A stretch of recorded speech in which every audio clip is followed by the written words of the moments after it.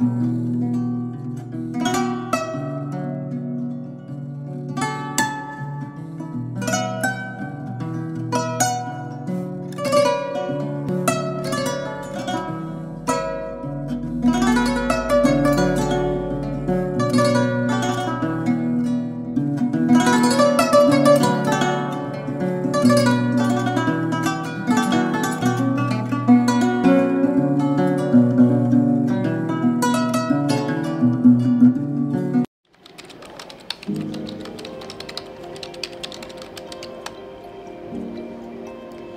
announce the launch of our new logo. We have evolved since our incorporation in 1997 and it is time to refresh our new look to reflect who we are today. Before I reveal our new look, however, walk with me while I take you through our journey of the last 25 years. Trust Bank was incorporated on July 3, 1997 and began operations on October 1, 1997.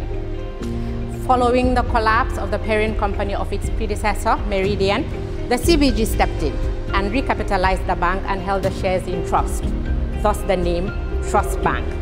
In 1999, the first investors who responded to the IPO and paid $1.50 per share received their maiden dividend of 50 bututs per share. In 2000, the bank fully paid back its investment by declaring another dividend of $1.20 bututs per share, making it a cumulative dividend per share of $1.70, which was 20 bututs above the purchase price. Between 2002 to date, share capital has increased from $27 million to $200 million, indicating that the bank has grown organically by plowing back profits to increase capital while at the same time paying dividends to shareholders.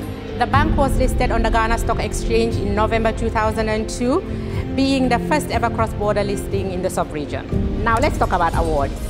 The bank was awarded the insignia of the National Order of the Republic of the Gambia, ORG, in the year 2010 by His Excellency the President of the Republic of the Gambia. During the past years, the bank has received so many national and international awards. Banker Magazine, six times. Global Finance, six times. Gambia Chamber of Commerce and Industry, five times. We began operations with three branches. Now, we have 18 branches and 20 ATMs and counting. On digital services, mobile app, check. Online banking, check. Transaction alerts, check. Watch this space. We've got more coming. Creating employment, yes, we've got that too. 400 and counting. And we take great care of our people too. Medical insurance, life insurance, private and state pensions, annual pilgrimages for both Muslims and Christians, training, yes, we do them all. One team, one family, one goal. That's the Trust Bank spirit. On corporate social responsibility, we have spent over $50 million in various courses. We care, and so we share. Over the years, we have paid over $1.6 billion to our shareholders, which translates to a whopping $20 per share and counting. Phenomenal returns for our shareholders who purchased at $1.50. Corporate taxes, over $1 billion is paid. Our journey started with a vision to create the kind of company that delivers quality services and innovative products with an inspired team dedicated to serving our customers, our environment, and our communities at large in the most caring manner. We remain fully committed to delivering excellent services to each of our stakeholders, customers, employees, shareholders, and partners. So, we remain true to who we have always been. As we look forward to greater achievements, we are rebranding to reflect who we are today and the future that we inspire. Our new logo has been designed to visually demonstrate our Gambian heritage and the sophisticated nature of the bank. We are moving away from the navy and gold-colored parallelogram-shaped logo to our baobab tree with a rising sun in the background. The striking outline of a baobab tree at sunrise is a familiar sight to anyone who has spent time in the Gambia. Our new logo and visual identity are inspired by our core values and spirit of being a pioneer in providing a unique banking experience. It is a completely new look that better matches the transformation we have made as a company. But we remain your trust bank.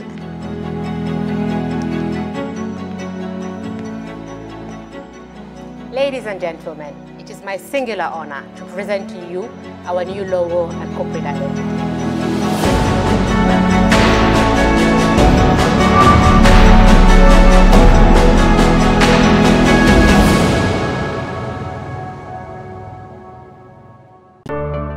For the first time in the history of the Gambia, Gambia Printing Publishing Corporation proudly introduces the Bielomatik Exercise Book Printing Machine the machine has the capacity to print more than 20,000 books per hour. Yes, 20,000 books per hour. It also prints magazines, newspapers, calendars, flyers, normal books and all kinds of printed documents plus items at affordable prices.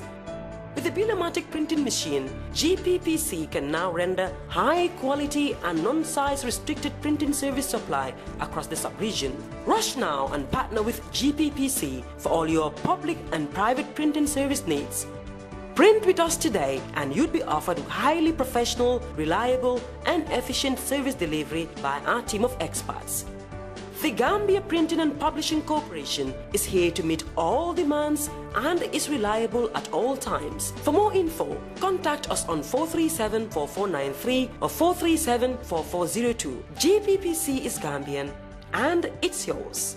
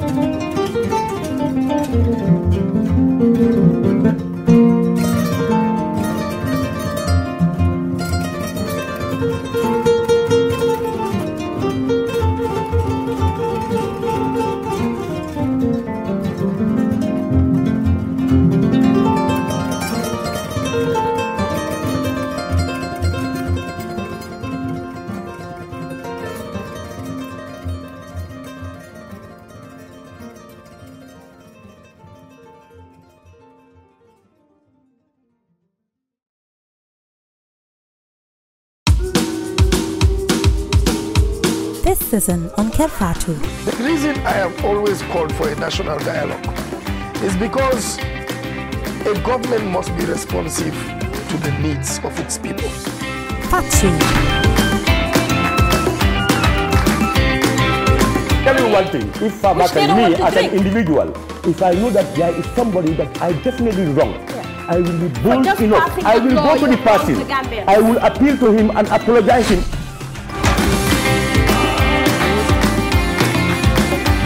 Make decision today because I don't make decisions lightly. I investigate. I do my research. I get the facts. I call the experts. I, I summon meetings. I get the technicians. Then I reflect and I make a decision. Why did you lose the election? Well, we lost the election because of kidnap registration. We had evidence of people being registered before the opening of the registration.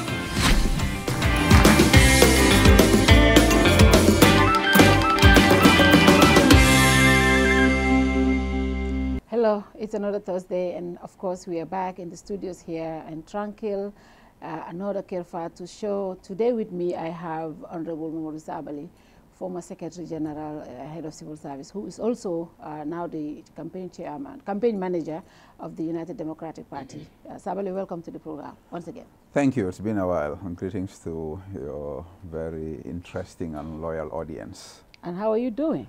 Very well, alhamdulillah. Can't complain. Okay. Happy, fired up, ready to continue to roll on.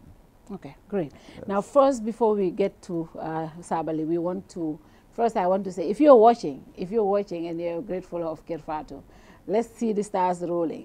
Because huh? uh, I always see Nene telling people, moo di ëppale stars. Léegi ma xool nag tey ñaata stars lay am. But just to let you know if you send us stars you are directly supporting the network and it, it turns out to be money. And and that is that and other revenue is what we use to help uh, develop programs, this one on other programs for us to be able to sustain our operations. So to all of you watching, send us stars. And sabali afuela fans all stars ki ankol fatu fatu ko ale lolo lolo kina. Ninko lolo nak akana hey, yalo badi kamune kila mo ya ya mira no no no la ga explain no seriously ma muna na katra ki ankol fa sala di da man no no nga fo yalo badi kam ne ke right? So sai. Ni ko e ko sta kina e kata rek okay afo okay ita no afo hanite ta afo ni ko lolo amang fi ko be stelen selen ta eta sango santo. Yeah. Uh, fenne be facebook ka fo me ko stars ni o kinan drong e ka yeah. falina ke kodoti ase kir fatu fanam makoy no ila programme ol ila yeah. isa yiri wandino aha. Aha kiyankol le badi bunkol la tol yalo me mustas di ala kina no so i'm going to explain this. Minga ke mm -hmm. ni ko mole ko stars kina right? Mm -hmm. nka jele badi bunkol ka foko ikatale ka stars ke ni stars sign stars sign oli ko le ta ta ta ta, ya instead of clicking on stars and sending us money.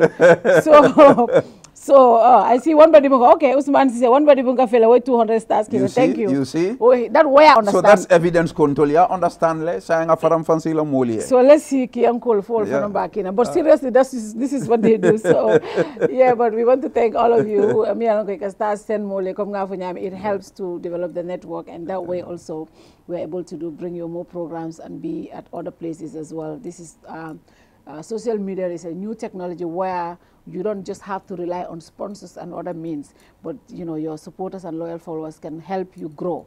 And I think well, Gambia I has gotten to a stage where that's what Kerr Fatou needs actually. Well, I think the entire media fraternity yeah. needs more support. Yeah. Uh, there's this thing we call market failure in economics. Mm -hmm. When the market does not reward effort enough, there yeah. needs to be an intervention. In normal spaces, it will be government. This time around, we know government's position on media and media independence. So if you want independent media, which is an integral part of the democratic process, yeah. send stars. Kewa Omar Sise, thank Kewa Omar Boyan, thank you for the stars. We appreciate it. Kombonko, yeah. And, Badibu uh, and Kombo have started. Yeah. we salute them. We salute them. And Wasa also said we want to thank them. Uh, and of course, um, we want to say I want to bring update to um, the what is happening, what is trending. That's what we start with. What is trending is this, you know, the shooting. Uh, last week I addressed it here, and we want to really, really continue to show solidarity to the support, uh, to, the, uh, to the soldiers, uh, the police, and of course the victim families, uh, Minialongo Banta, during uh, the shooting at the Sukuta Manjai, um, Sukuta traffic light junction. Uh, is very unfortunate and a lot of people condemned it. Uh, today, the alleged the suspect um, and his sister were arraigned at the Kanifing Magistrate Court. They were charged with murder and other related uh, cases. And the magistrate ruled that they don't have the jurisdiction and they have sent uh, the case to the uh, uh, serious, uh, the High Court, uh, serious um, uh, crime unit at the High Court. So that's why they will be um, tried. And so right now they, are, they continue to be detained and this is the update that is happening. Ngalneko, this is your first time. What is your reaction to the shooting first before we get here? Well, really it's shock and consternation. Mm -hmm. Peaceful Gambia, smiling coast of Africa. Yeah hearing anybody shot anywhere mm -hmm. uh, becomes a, a, concern for everybody. Yeah. Uh, it becomes a shock to yeah. anyone. Mm -hmm. But uh, hearing uh, uniformed men and women uh, being targeted and shot mm -hmm. is really dastardly acts, yeah. completely reprehensible, mm-hmm. unjustifiable under any circumstances. Mm-hmm. And uh, we, I mobile kijofara, by the way, yeah. bari menkumayata. Mm-hmm. Uh, I don't even know which language to, to go with. English, English yeah the loss because of young we lives. want a lot of people to, yeah. The loss of young lives, yeah. whether they're in uniform or not, mm -hmm. is, is, a deep concern because they're just starting their life and mm -hmm. uh, uh, the fact that they are in uniform takes it to another level because yeah. these are people who are ready to uh, put their lives on the line mm -hmm. to protect the rest of us. Yeah. So that, that actually takes it another level. And in terms of uh, safety and security, mm -hmm. it becomes even more alarming that if those who are protecting us become the targets and become victims, mm -hmm. then the civilian population become a little bit even more jittery. Yeah. So we condemn it mm -hmm. uh, totally and completely and uh, we convey our condolences to the bereaved families yeah. and to the entire security fraternity. Yeah. And we pray for the souls of the, the young men who passed away, that Allah admits them in Jannah. Amen. And of course, we also want to give an update on the TikToker Mankajang, uh, Mankajang Daily. Uh, Mankajang Daily, uh, I think uh, yesterday we got information that he went to Jululung. Uh, Mankajang was the gentleman who interviewed Mama, the la lady who allegedly, uh, you know, caught um, Useno, the, mm -hmm. the suspect mm -hmm. in the shooting. And Mankajang interviewed her. I think he went further to go to Jululung yesterday. I, I don't know exactly what he got there, but uh, I think upon posting on his TikTok that he was in Jululung, he was called for questioning. Yesterday we updated on our page. We were not able to bring any other updates as to what his whereabout is. But just before coming to this program, I saw on What's On Gambia, and I want to give credit to What's On Gambia for this because I think they were the, uh, I think they, apart from, um, apart from 360, uh, I saw 360 also, but I want to quote What's On Gambia saying that he is now held at the anti-crime unit. Since yesterday he was um, called for questioning. Um, we don't know exactly what he was called for. Um, I, I don't know what the, and I, at some point I said on my Facebook page, is getting worried. I mean, I know we are journalists. I don't know if Mankajang is a journalist, but I know he's a TikToker. He did interview Mama, and he went further to get some other information. Um, should the police notify us if whether we should interview or not interview people based on investigations, or is it because he's not a journalist? I don't know. But when you heard of Mankajang being uh, questioned, what was the first reaction? I was concerned, of course, mm -hmm. and uh, naturally so. Uh, I'm friends with everybody in this country, especially yeah. media media mm -hmm. personnel. Mankabang is uh, a little brother of mine, and yeah. I know he's a, a good gentleman, mm -hmm. good citizen who is playing his role in the in, in media work. Mm-hmm. So when I heard uh, that he was uh, being called for questioning, questioning. I was concerned. Mm-hmm. Uh, I became further concerned during the day to day when there was scanty information exactly about his whereabouts. And, and Fatou, I think this is unnecessary drama. The Gambia police force mm -hmm. should do their jobs professionally according to law. We know what happened in this country with the killing of these uh, security services. It's a concern for everybody. Yeah. And to the credit of Gambians across ethnic and political lines, everybody showed solidarity with the Gambia police force. Yeah. But from then on, the kind of moves and missteps and uh, misinformation and uh, conflicting information coming from the side of government has not helped the situation. Mm -hmm. And I think it is our correct collective responsibility to these fallen men to make sure that we all play our roles diligently. The security has a role, yeah. which is different from the media, which is also different from some of us who are consuming this as uh, civilians. I believe the Gambia Police Force has the responsibility to take the lead role mm -hmm. and to create uh, corridors of dialogue and consultation mm -hmm. with uh, all stakeholders because the media is a stakeholder. Yeah. So if, like you said, the police feel that certain people should not be interviewed, mm -hmm. I think they should come forward. It, it, doesn't have to be a press release. Give us our guidelines, me. yeah. Exactly. Yeah. Call a few, or, or call the Gambia Press Union yeah. We are doing our work. These things happen even in, even in the developed Western world. Yeah. When certain information is sensitive to national security, mm -hmm. you protect it, but you don't do it by force or threatening people. That the case of Mankajang is particularly worrisome. Because if you want to call Mankajang for questioning, mm -hmm. who is saying you should not do it? Not me. Yeah. I'm not saying you are. I'm not saying. I'm, I do not think you are saying no. that Mankajang should. But if he's called yeah. by state authority, mm -hmm. they got to give information to the public, especially his whereabouts. He has friends, he has colleagues, he has family. I mean, I, I, think this is really worrisome, and I want to put my concern on the record that the Gambia Police Force, they should improve on how they do their job. Yeah, yeah, I, I, I, I was equally concerned because we are people who, we are, um, we are members of the media. We would, the police will do their investigations, but we also want to know how the story is unfold. We want to know. Kerr Fatou spoke to the, uh, to, to, uh, to the alleged shooter's um, brother the day after the incident because we wanted to know where what's the mindset of the family? What happened? Who this guy is? And we did that. It was not because we people wanted to tamper with the police investigations but the media will also have a role uh, to be accountable to society. You would want to tell them other things that maybe the police would not naturally would want them to know. So these things happen. But if you really think um, there should be guidance and everything. It's, like you said, there should be a dialogue yeah. between the police I, I just want to say that yeah. it, there's a level of dysfunctionality at the Office of the Police PRO right now.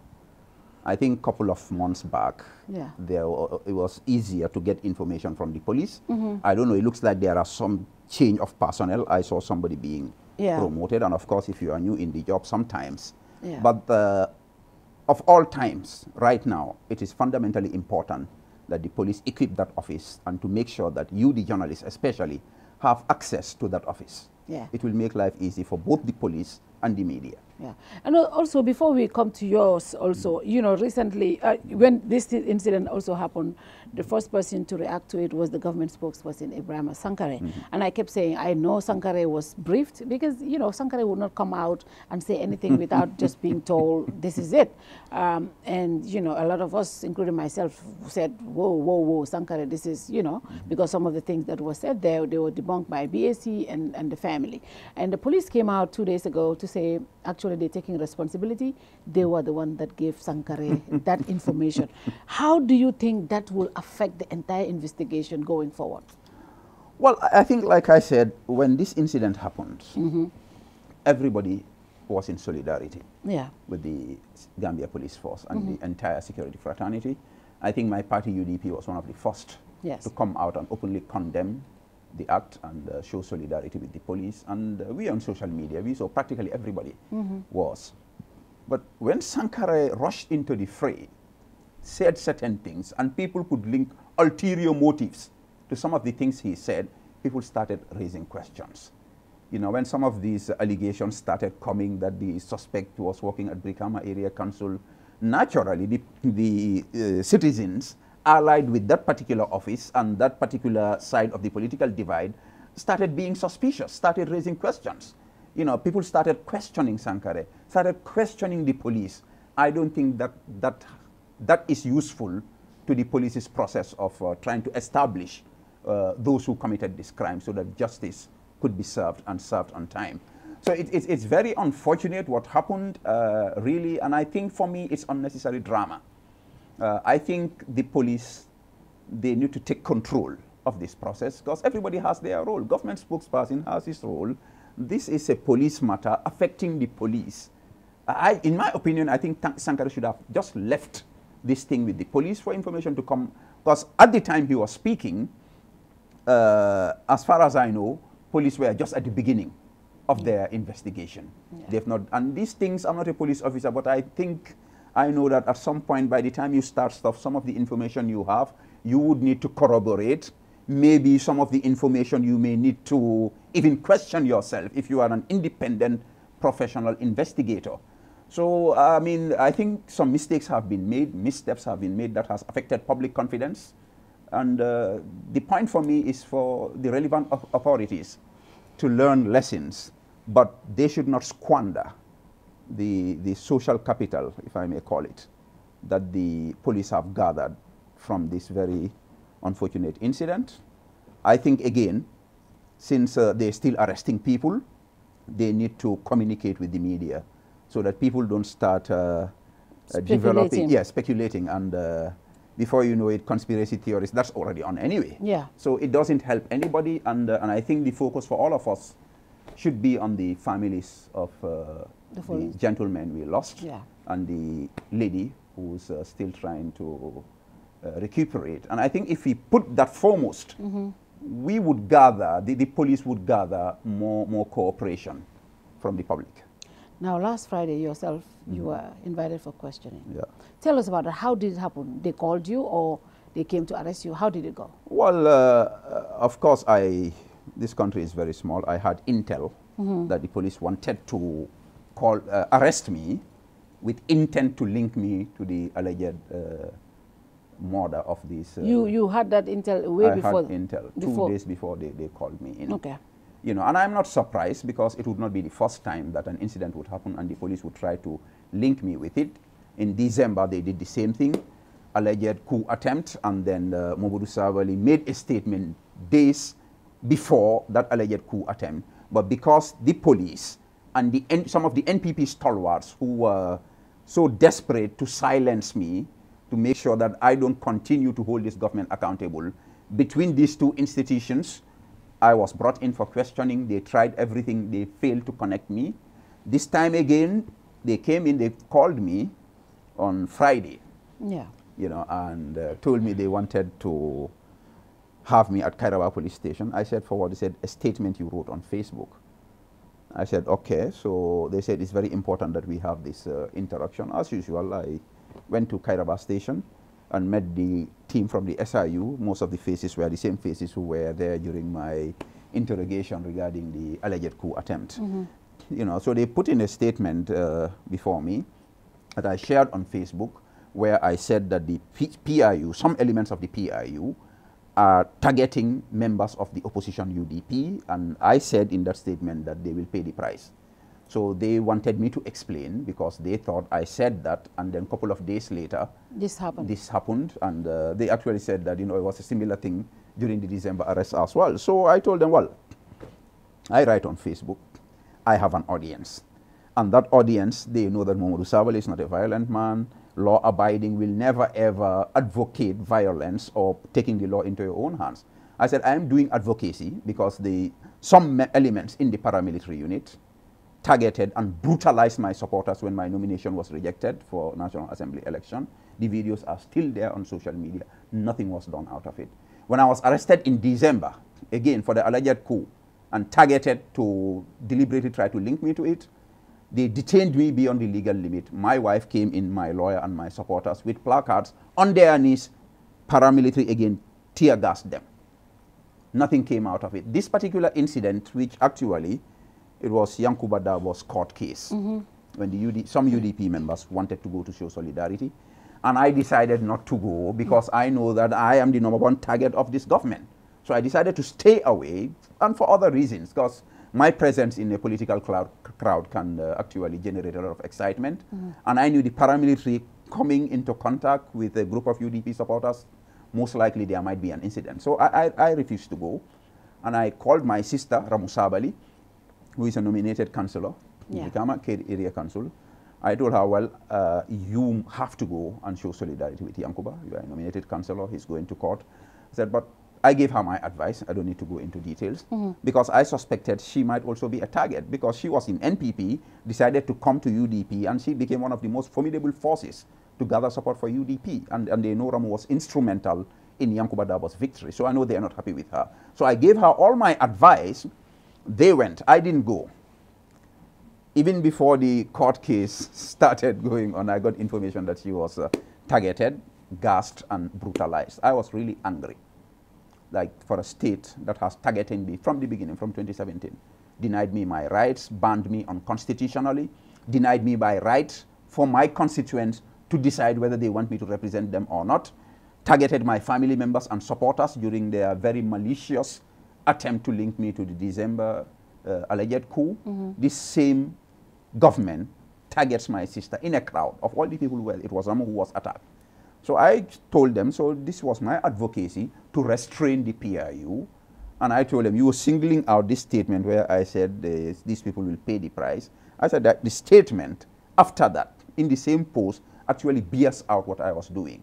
Because I was alerting the European Union and other development partners that some of the funds that they are giving to the Gambia Police Force may end up be, being given to the paramilitary to terrorize opposition supporters. And I said this is normal advocacy because if you want government to behave in the right way, more often than not, if you involve the development partners, they tend to, to, to behave better. So I told him it's advocacy. It was not meant to uh, incite violence or to take any revenge. I said, if anything, I had intentions, and I did at the time, mm -hmm. to take legal action against certain members of the PIU who were identified to have uh, a link with the attack on my sister.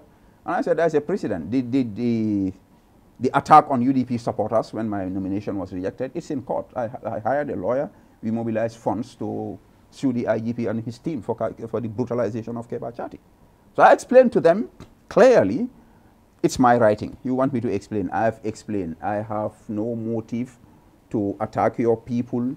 My character and record are out there. Even my worst enemies who are sincere know that Momodou Sabally will not be involved in violence, talk less of taking the life of a young Gambian. No, it's impossible, unimaginable. So I explained the whole thing to them mm. Friday evening, yeah. as usual. They pack their things and go, we are detaining you. so I said, where are you detaining me? Because last time, it was at the paramilitary. They said they'll detain me at the paramilitary. At night, they bring in two cars, zigzag the whole urban area and took me to anti-crime. I said, I want you to tell me the truth. They told me they are detaining me at the police at Kairaba station. So we went there. There is a, uh, yeah, a so segment behind the what you call cantuar. Mm -hmm. That's where the SIU left me. And we were sitting down there.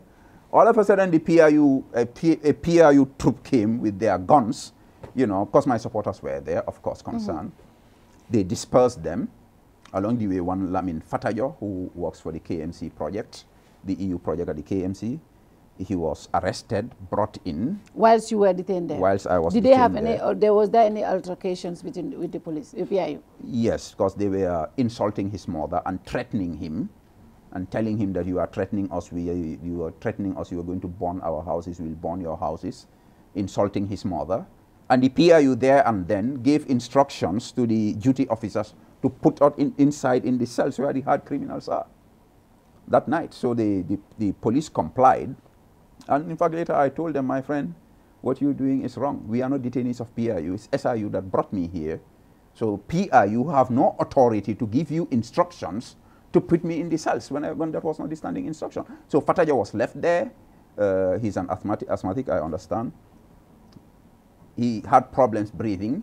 He told the police that he needed his inhaler. The police did nothing about it. The whole night he was banging on the door, shouting that he needed to be taken out just for five minutes to have fresh air to breathe. They refused until the morning.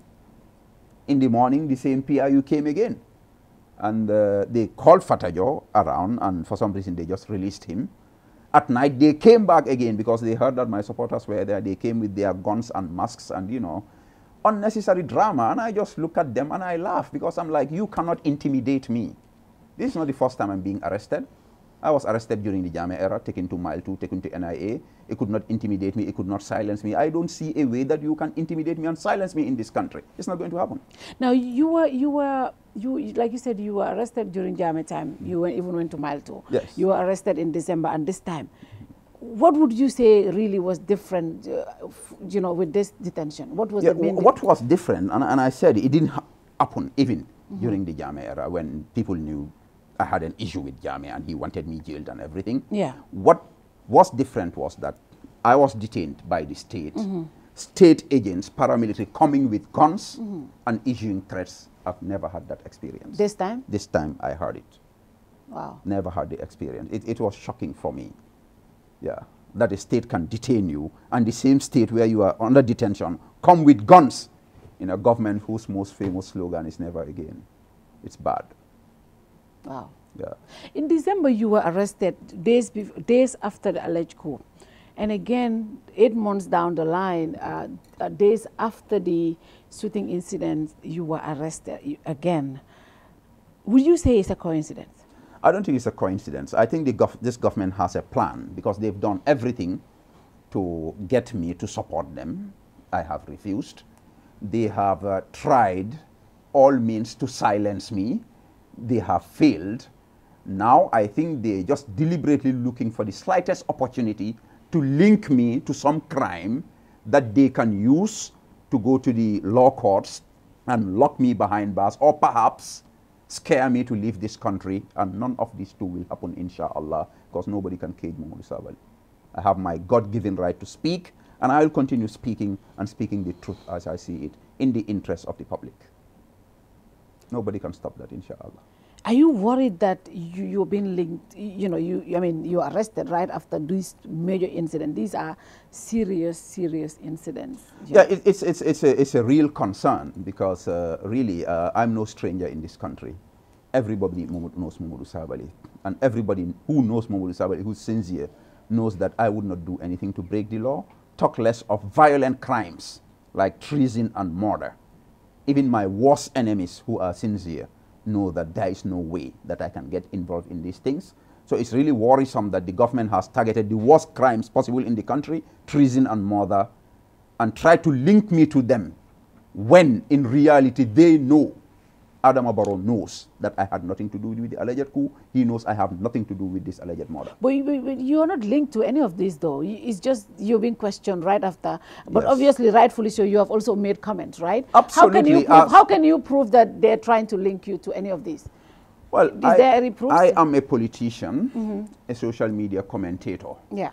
And I'm all over social media. I have a right to speak. Yeah. In the first case, I, I it was uh, advice I was giving to some TikTokers. Yeah. Somebody cut a, a, a portion, portion, of, of that, that mm -hmm. and decided to publish it. They picked that to try to link me to an alleged coup, and it failed. Mm -hmm. And I believe 100% that those who gave the instructions for me to be arrested knew I had nothing to do with the alleged coup, but they just wanted to use the coincidence to try to link me so that they can put me in one place and silence me.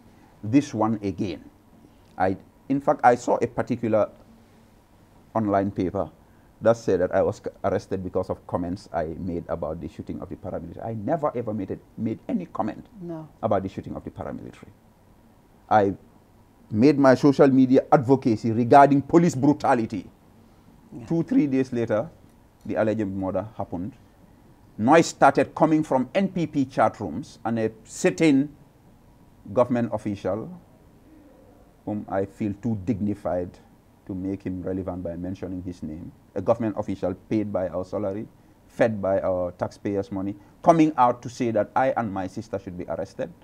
And before that, some NPP forums, I was threatened with my sister that they would attack me, they would kill me and my sister. NPP forums. They, the, the WhatsApp audios are right there. In fact, one of our UDP supporters, Sajo Dabo, made a whole YouTube, uh, an audio that was uh, later published on YouTube mm -hmm. uh, saying that certain uniformed men were threatening my life and, and he exposed them. But the police never took any step on these things. And, and this is the irony of it. A single 30 second audio from a UDP supporter insulting, allegedly insulting or allegedly threatening somebody, you will be called for questioning and detained immediately, even if they don't have evidence. But you can have a dozen and dozens of NPP people calling out my name, threatening me, uh, uniformed men threatening me, and the police and the entire security outfit and the government will pretend that it's not happening. Do we have two laws in this country? One for government supporters and one for the opposition? Is this the justice we're praying for in our national anthem?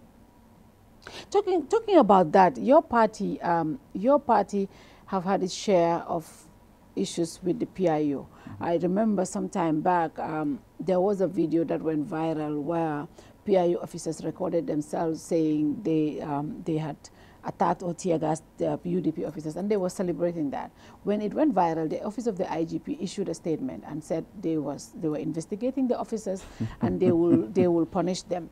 Now, what have you heard anything from that incident? Because I do know um, we need to protect law, office, law enforcement officers. Uh, they are good men and, you know, they, they, they, swore to protect lives and citizens in this country. But again, their job is to protect us. But when this video came out, uh, the IGP issued a statement.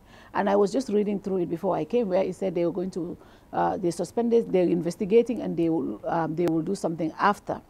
Do you know that, do you know if anything was done about that case? I've not known a single case where police brutality led to any action, disciplinary action from the level of the police authorities. And, and this is very unfortunate because like you said, the police officers themselves, whether it's paramilitary or regular duty, they deserve our respect and they deserve to be protected. Yeah. But when you have a few rogue elements mm -hmm. brutalizing people and then celebrating it, and then you have a gov an advisor to the president coming out in video celebrating the tear gas attack on Lawyer Darboe's house, where women were beaten and brutalized, tear gas, hospitalized. Up to this day, the police have not taken a single step. The Keba Chati case, during my nomination, the police were aware of it. They saw the videos. We know that some top police officers were actually themselves shocked when they saw the videos and they were telling their men, I mean, how can you do this and the cameras were on? And in fact, when Keba Chati's case started and we started going there to show solidarity and sympathy, we got word from the police that they would come and visit him. Even if they did just that, we would have had a signal that they actually care. And if they did it, they are not just protecting Keba Chati and the, um, oh man, I, I, don't even care whether Keba is opposition or not. He's a citizen of the country. Mm -hmm. They would not just be protecting a civilian citizen, they would be protecting their own men.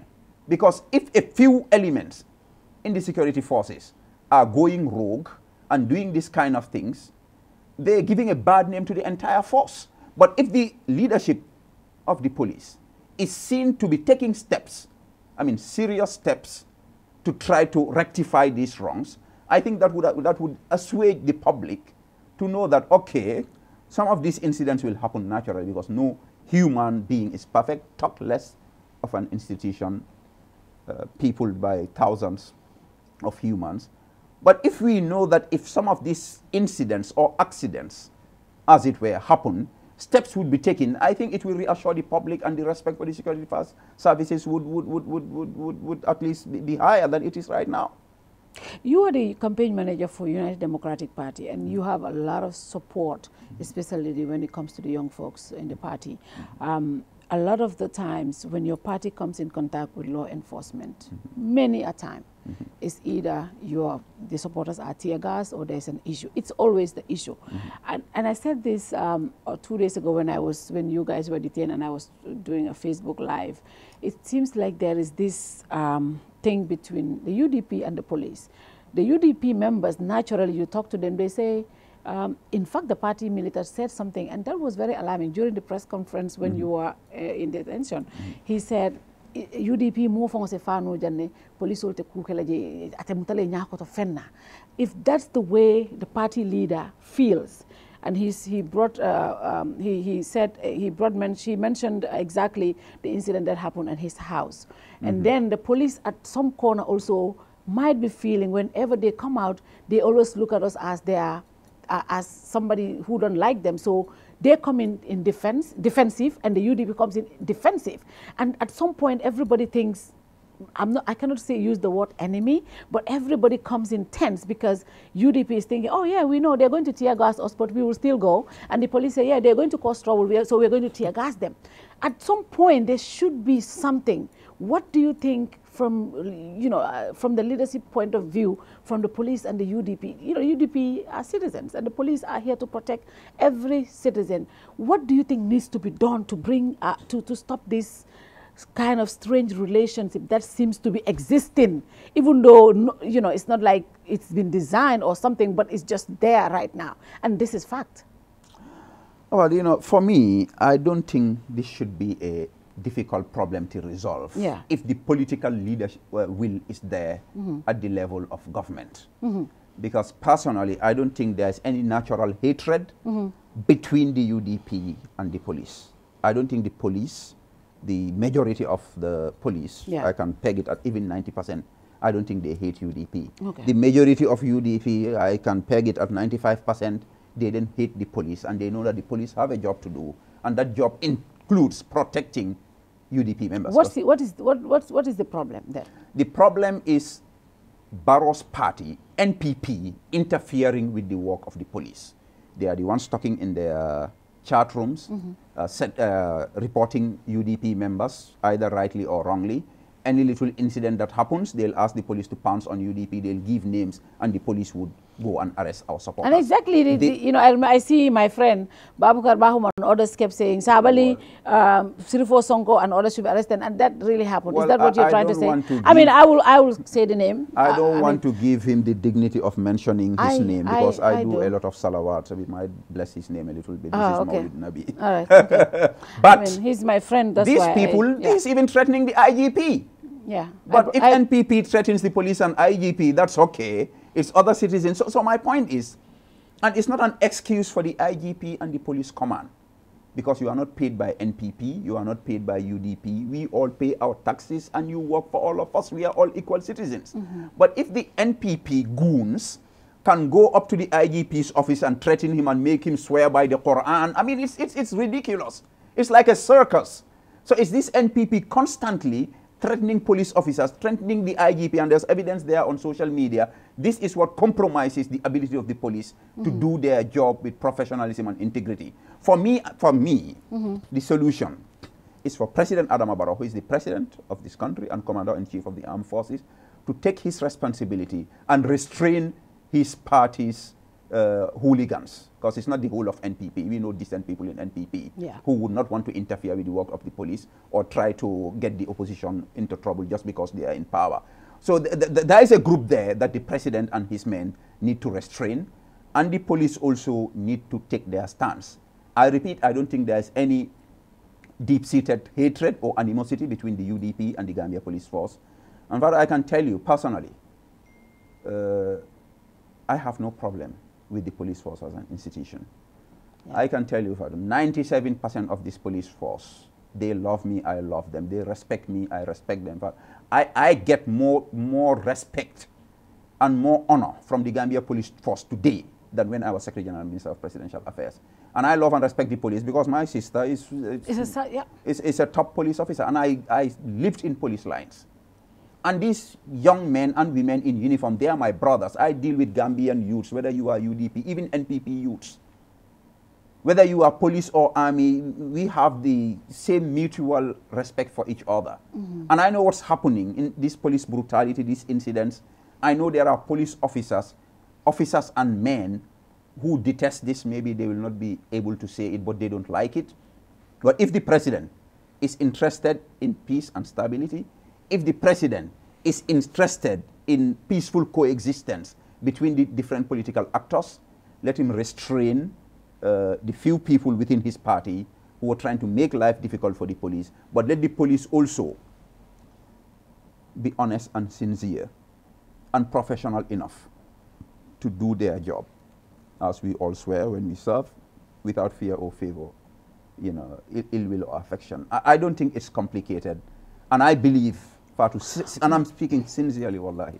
If I don't believe it, I will say it. Yeah. Nobody control it. I believe this problem can be resolved, but the police command, the leadership, they have to take their stance. And President Barrow, as commander-in-chief, needs to help his men to be able to do their job without much political interference. Listen to me. Okay. I said without much political interference because I know politicians are politicians. Yeah. But the way the situation is going, it's about time that the NPP, they also restrain themselves a little bit and allow the police to do their job for our common interest. Because in situations of violence, these clashes, if police clash with uh, UDP on the Westfield Brikama Highway. Yeah. Who knows if Fatou Ture is going to be the victim and Fatou has nothing to do with it because he's just driving, going to visit our family in Lamin. Yeah. This is not good for anybody.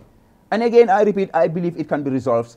Let us all have that will to be able to speak to each other to resolve these problems. I believe it can be done. And I, you think, because you see, um, I listened to some audios, especially from Rambo, uh, a serving diplomat who is paid by the taxpayers, you know, uh, uh, saying, you know, cautioning the IGP. Yeah, well, his just say threatening him. His exact words, IGP, mbina lala mola eka minfo, bayri koi mu UDP let. Hmm. And for those kind of statements, do you think those trigger some of these arrests? Obviously, from, you know? obviously. Because the if, if, they're telling you you are UDP, you want to show UDP some restraint, you know, and be tough on them just to, to satisfy those who are accusing you of that. Do you think it's a human nature? Do you think some of those things would trigger some of the things that it's you know, quite obvious that him mm -hmm. and other members said the police should arrest me, mm -hmm. and the police arrest me. Of course, so the IGP is under pressure, and, and, and the entire police command. So, so this is really, Fatou, this is really unhealthy. And uh, uh, this is unnecessary drama because the sub-region is a little bit too volatile. Gambia is seen as the oasis, the bastion of peace and stability. Let us not create unnecessary drama. I'm not saying that there would not be incidents between the police and civilians. It, it's just normal. But let us not push the police and pit them against citizens of this country who are law-abiding because of our, our, political interests. It's not good for anybody. Even those who are doing it, they just don't know. It's just ignorance. But it's not good for them because this country belongs to all of us. If conflicts uh, erupts here, who can control it? who knows where this, this, the effect of the conflict is going to be? You know, I, I think this is really bad. And like I said, I believe it can be resolved. And we should all work together to resolve this. We should all work. And I think that is the key word. We should all work towards uh, resolving this because this kind of tension doesn't look. If you're just joining us, I am here in the studios. Uh, today I am with uh, Honorable uh, Momodou Sabally. Momodou Sabally is the campaign manager for the United Democratic Party. If you have been following Kerr Fatou, he was recently uh, arrested and questioned uh, about a post he made on Facebook. So today we're here to talk about that. And of course, uh, if you're just joining us, Seno Stars, like I said, kanabadi bunka yake yake. Kiyankol ye lolo ten ko ka e ka e e ka dotin dotin ne. Bat awata foye ka ke ñaameng no sai ni e ka ke ñame wolom. uh, right now ning uh, ibe stage la le ya jele ya se sen stars 200 or anything. So e bole click la drong ye stars ten click wala ka dete. Ka dete ha. Ay ka dete la ka dete la. ni ko click samira fo ibe belo so ya sen la wala ñama ma fo ya ya asta ma lolo ma kide e ka dete le. Ni ya dete de ni ibe stars la mole thank you. Sabali a lot of people said some argue that um, some argue that as a young leader mm -hmm. who is loved by a lot of the young people in this country, mm -hmm. um, as a political figure, a major figure in a major political party, mm -hmm. sometimes your utterances are not measured. People say sometimes you get too emotional and in your in your utterances and your postings. Um, when you make personal when you make this personal statement shouldn't that come from someone should that come from someone uh, like your caliber somebody who serves as a big role model to a, young, a, lot of young people? I say this a lot of times and i you know it's not because you're my brother from Lamin. I say this. Tell me somebody at your age who was who worked at the central bank some, tell me somebody at your age who was the director of budget at your age Show me somebody in this, in this country who served as Secretary General, Head of Civil Service, Minister of Presidential Affairs at your age. I don't see it. You, you know, you, you, you, you, you, you are that role model to a lot of people, especially for me and a lot of people from Lamin. We look up to you, and that's why a lot of people say, from Badibu. You know, not because I don't speak from it. I'm not a politician, but I look at this brother who I come from the same village, and you know how you know I look up to him growing up. You know, that's how I look at it, and I and I see all the things that you go through, but still you know, when I speak about you, uh, you know, because that's how I feel. That's how I feel about it. I remember when I had an interview with Auntie Jay, and I said it, and I got emotional. She got emotional. But that's how I feel deep down. And I think a lot of people feel that, you know, at your age, all of this thing happened. But at your age, you were banned for life. I, I don't know what you have because I don't see it, but you were banned for life because of, you know, by a commission. Mm -hmm. You were um, stopped from contesting uh, president uh, to be elected by your own people. You cannot work in any public office in this country, but you are still very strong. You make these utterances, and but you know you should be a shining example for a lot of us to say. With all of these things, I'm still here. I'm happy, I'm smiling, I have a beautiful family, I'm doing all of this. So sometimes when you make those utterances, people see, with his caliber, why does he speak like this sometimes? why? Don't you think sometimes you should be measured? Because when something like happens, it affects not just you and your family. It affects a lot of people. You know, Fatou, there is a global conspiracy to control what people say, especially people like me who have a following, who have influence, to try to dictate what people say, not only to silence them, but to sometimes to micromanage mm -hmm. how they operate, how they dress, how yeah. they smile, how they laugh, how they cry. Mm -hmm. So this is uh, the ethos of uh, conformism mm -hmm. that the majority of people want to tread. But I'm a student and a disciple of the American philosopher Ralph Waldo Emerson. They call him the sage of concord. You know, so we are non-conformist and we will never conform. And that is the thinking and the philosophy behind my hashtag can't cage me. Nobody can cage me. It's the desire of the society to try to control you to direct you, to dictate you. Nobody can do it to me. Yeah. Fatou, I'm, you know, you, you think young people who follow me, they are fools? They are following me for a reason. And, and the connection with you and them. They, they are doing it for a reason. They, they, they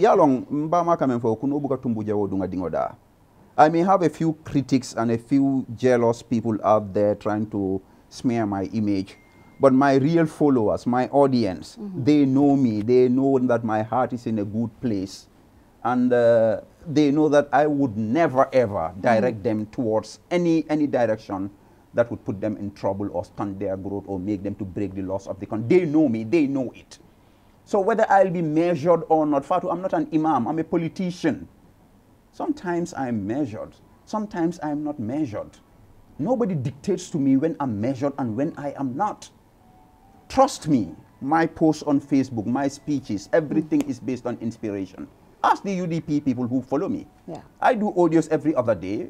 When I'm inspired, when I'm not inspired, it goes for weeks. Mm -hmm. Sometimes they call me, they are alarmed, they think maybe I've switched over to another party. I don't force things, I don't rush them.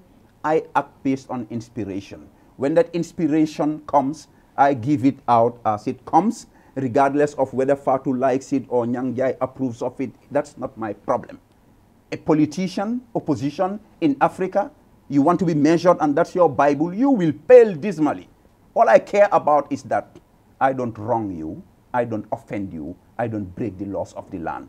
But being measured or not, and who, who decides what's measured and what is not, I know I will make mistakes. I'm a human being. I'm not pretending to be perfect. I'm not interested in that. Mm -hmm. When I make mistakes, I apologize. Yeah. When I make wrongs, I amend. But I'm not going to live my life according to the dictates and the perceptions and the whims and caprices of a few potential detractors. And to be fair, sometimes they are your loved ones, the overprotective of you. Yeah. Like my mother sister who traveled from Badibu to come to my house yesterday and say I should stop talking about this government. Ibulaje fata nyun masaing. Yeah. Ibakelan tolela kuwaka. It's not going to happen in a billion years. I'm going to speak as I see fit. I'll try as much as I can not to break the laws of God and the laws of man. Other than that, no, Father, it's not going to happen. So during your detention, um, you know, in as much as you are loved by people, like you said, you are also being, you're hated by a lot of people as well. Mm -hmm. I mean, I saw a lot of people who say, um, Kasabali might not be my cup of tea, mm -hmm. but what is happening to Sabally today can happen to you or another person. To, to those people, what do you say? Well, I mean... Because obviously you're not just defending Sabally, you're defending democracy. That is, the, that, that is the point, Fatou. Yeah. And, and, that's why sometimes, like these things, I was detained for what, four days? Yeah. My first detention, I was detained for four months, five months. So it's nothing new to me. I can deal with these things. I know how to handle these mm. things. But the point is, who is the next person? Is the, the so it's not about the personality, it's the principle that's wrong. Mm -hmm. And even NPP people mm -hmm. should condemn this kind of illegal, malicious arrest. We've seen this over and over. Yeah. Sometimes those asking for people to be arrested ended up being arrested at a baila. Yeah. What is important is for the government to conduct itself -hmm. according to the laws of the country and to be. I mean, human systems, institutions, they are not perfect. But for the government of the day to try as much as they can to be fair to the citizens of this country. Because at the end of the day, you know what's my guiding principle? Is, mm is, is divine law, not even these mbojo mbojo human laws that can be doctored against people and institutions. No, no, no, no, no. I believe that whatever you do, hellfire and, and paradise is there, but you, you, it gets requited here. Whatever you do here, you see it here. I believe that wallahi fundamentally. And the, those in power should know that. You do it here, mm-hmm. let's be fair to each other. That's not rocket science. Let's uh, govern the country according to law and allow the laws and the institutions that govern the law to function professionally. That's not rocket science. That is there for all of us. It's not just the opposition. You never know. Today it's me, tomorrow who is it going to be? Only Allah knows. But we don't wish ill for anybody, even our opponents in the political game. We just want fair play. We just want a level playing field. Is it going to be 100% level? Maybe not. But don't go out of your way to target people, you know, try to smear their character, try to get them into it. It's, it's not right. And it's going to backfire on you by the grace of Allah. He's a just God you you you know i i you know when you when when you're detained i don't worry about you because i know your mental state of mind but you know when i had auntie jay here the last time i put this question to her and i asked the family hey the family i just wanted to know your take on this um, during Jammeh time you went to jail yeah. you you went you went through everything yeah. and then when the new government came you know, I remember the first time you said, I just want to observe, I don't mm -hmm. want to say anything. Yes. A lot of people even said you were supporting Barrow, but at mm -hmm. that point you said you just want to see what was yeah. going on. Mm -hmm. Even though you were banned. Mm -hmm. You were banned to work mm -hmm. for life. Yeah. You could not run for public office. You are not. You cannot do anything basically. And now recently you're going in and out of jail. Mm -hmm. I don't know for how long will that continue. Yeah. Now, all of these things. Do you ever sit and say? At this point, I just maybe I should just leave, go get a decent job. You are a master's holder. You you know beautiful public life. Maybe I should just go and, and, and, get a decent job somewhere and, and go live a beautiful life with my family. Very young family. Uh, those thoughts do happen, Fatou, to be honest, and uh, both from within and from without. Like somebody sent a message to my niece that I should go to Dubai immediately. He's get me a job and blah blah blah. So I, I just tell her, tell him it's not going to happen in a billion years, because uh, countries are built by citizens, and wherever there is a great nation, there are names and surnames associated with its struggle. People who toiled and moiled died. People died for their country. I mean, people struggled for their country, were exiled for their country. Mm -hmm. You know, America, it's the Benjamin Franklins, the Thomas Jeffersons, you know. Some of them, they got nothing out of it, but America is the greatest country today. Nelson Mandela, 27 years in uh, Robben Island. You think 10 years at uh, Pretoria, I actually visited his house with, with, when Zuma was there. You think that compensates 27 years? But it's an ideal and a principle that's liberating and inspiring millions of millions of people around the world. Muhammad sallallahu alayhi wa sallam and his Sahaba lost their lives, lost families. And the success of Islam today in terms of numbers, they didn't even witness 10% of that. But it's a principle and ideal worth it. Somebody has to do it. Somebody has to pay the price. My family, I really care about them. They know I don't want even a fly to touch them. They know how, how much I love them. But sometimes, Fatou, these things, if Allah puts you on a path, everybody has his path. Yeah. And, and sometimes you get to a level in your life where those small voices speak to you and you know the path to tread, even though uh, occasionally the satanic voices will come either in human form or within yourself. No, it's not worth it. Do this, do that. You know, what I believe is that I have a mission. I didn't put myself in this situation. But Allah de decreed that I would be on this path. Mm -hmm. And I believe that if I leave this path, go get a nice job at UN or IMF, I will not be happy. I've seen people, both in here and in Senegal, you leave your country, I mean, not even for bad reasons or anything, mm -hmm. go mm-hmm. work for UN, IMF, World Bank, make all the money at the end of the year, come back and start again where Momodou Sabally is today.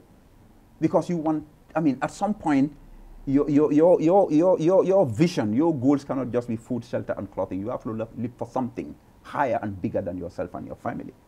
So before going there, and I mean, you've seen people like Cheikh Tidiane Gadio, we are successful yeah. around the world, had to come back to Senegal.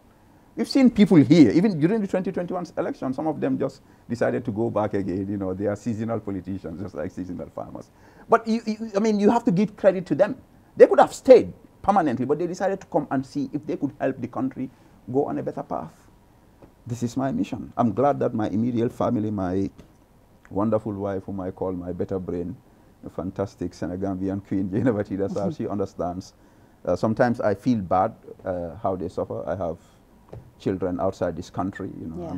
that's uh, but uh, I'm glad that hey, at Mohammed, yeah, Mohammed Sabally, one of one of my good friends here, when yeah. he came to do his final thesis here, mm -hmm. I linked him with my friend who is a professor, because he was doing some research in literature. So that professor called me, and said, you know, I, he wants me to stop this because he knows my potential. I was his boss in the public service. He knows what I can do. He said, Sabally, you know, I wanted to advise you to stop this politics and do something. He said, Mohammed was my hope. But when I spoke to, and mind you, Muhammad does not support my political party. He is his own man. Yeah. He said, but when I told Muhammad uh, that you should stop this, Muhammad told me, no. In fact, I'll encourage him to, to do more in, in his path. Alhamdulillah. It yeah. has to be done. Somebody has to do it. Somebody has to do yeah. it. Now let's come back to Gambia. Mm -hmm. I, you know, I have not had you on the platform since. So let's talk about, you know, our economy. It's as bad as it gets, and it's gonna get worse.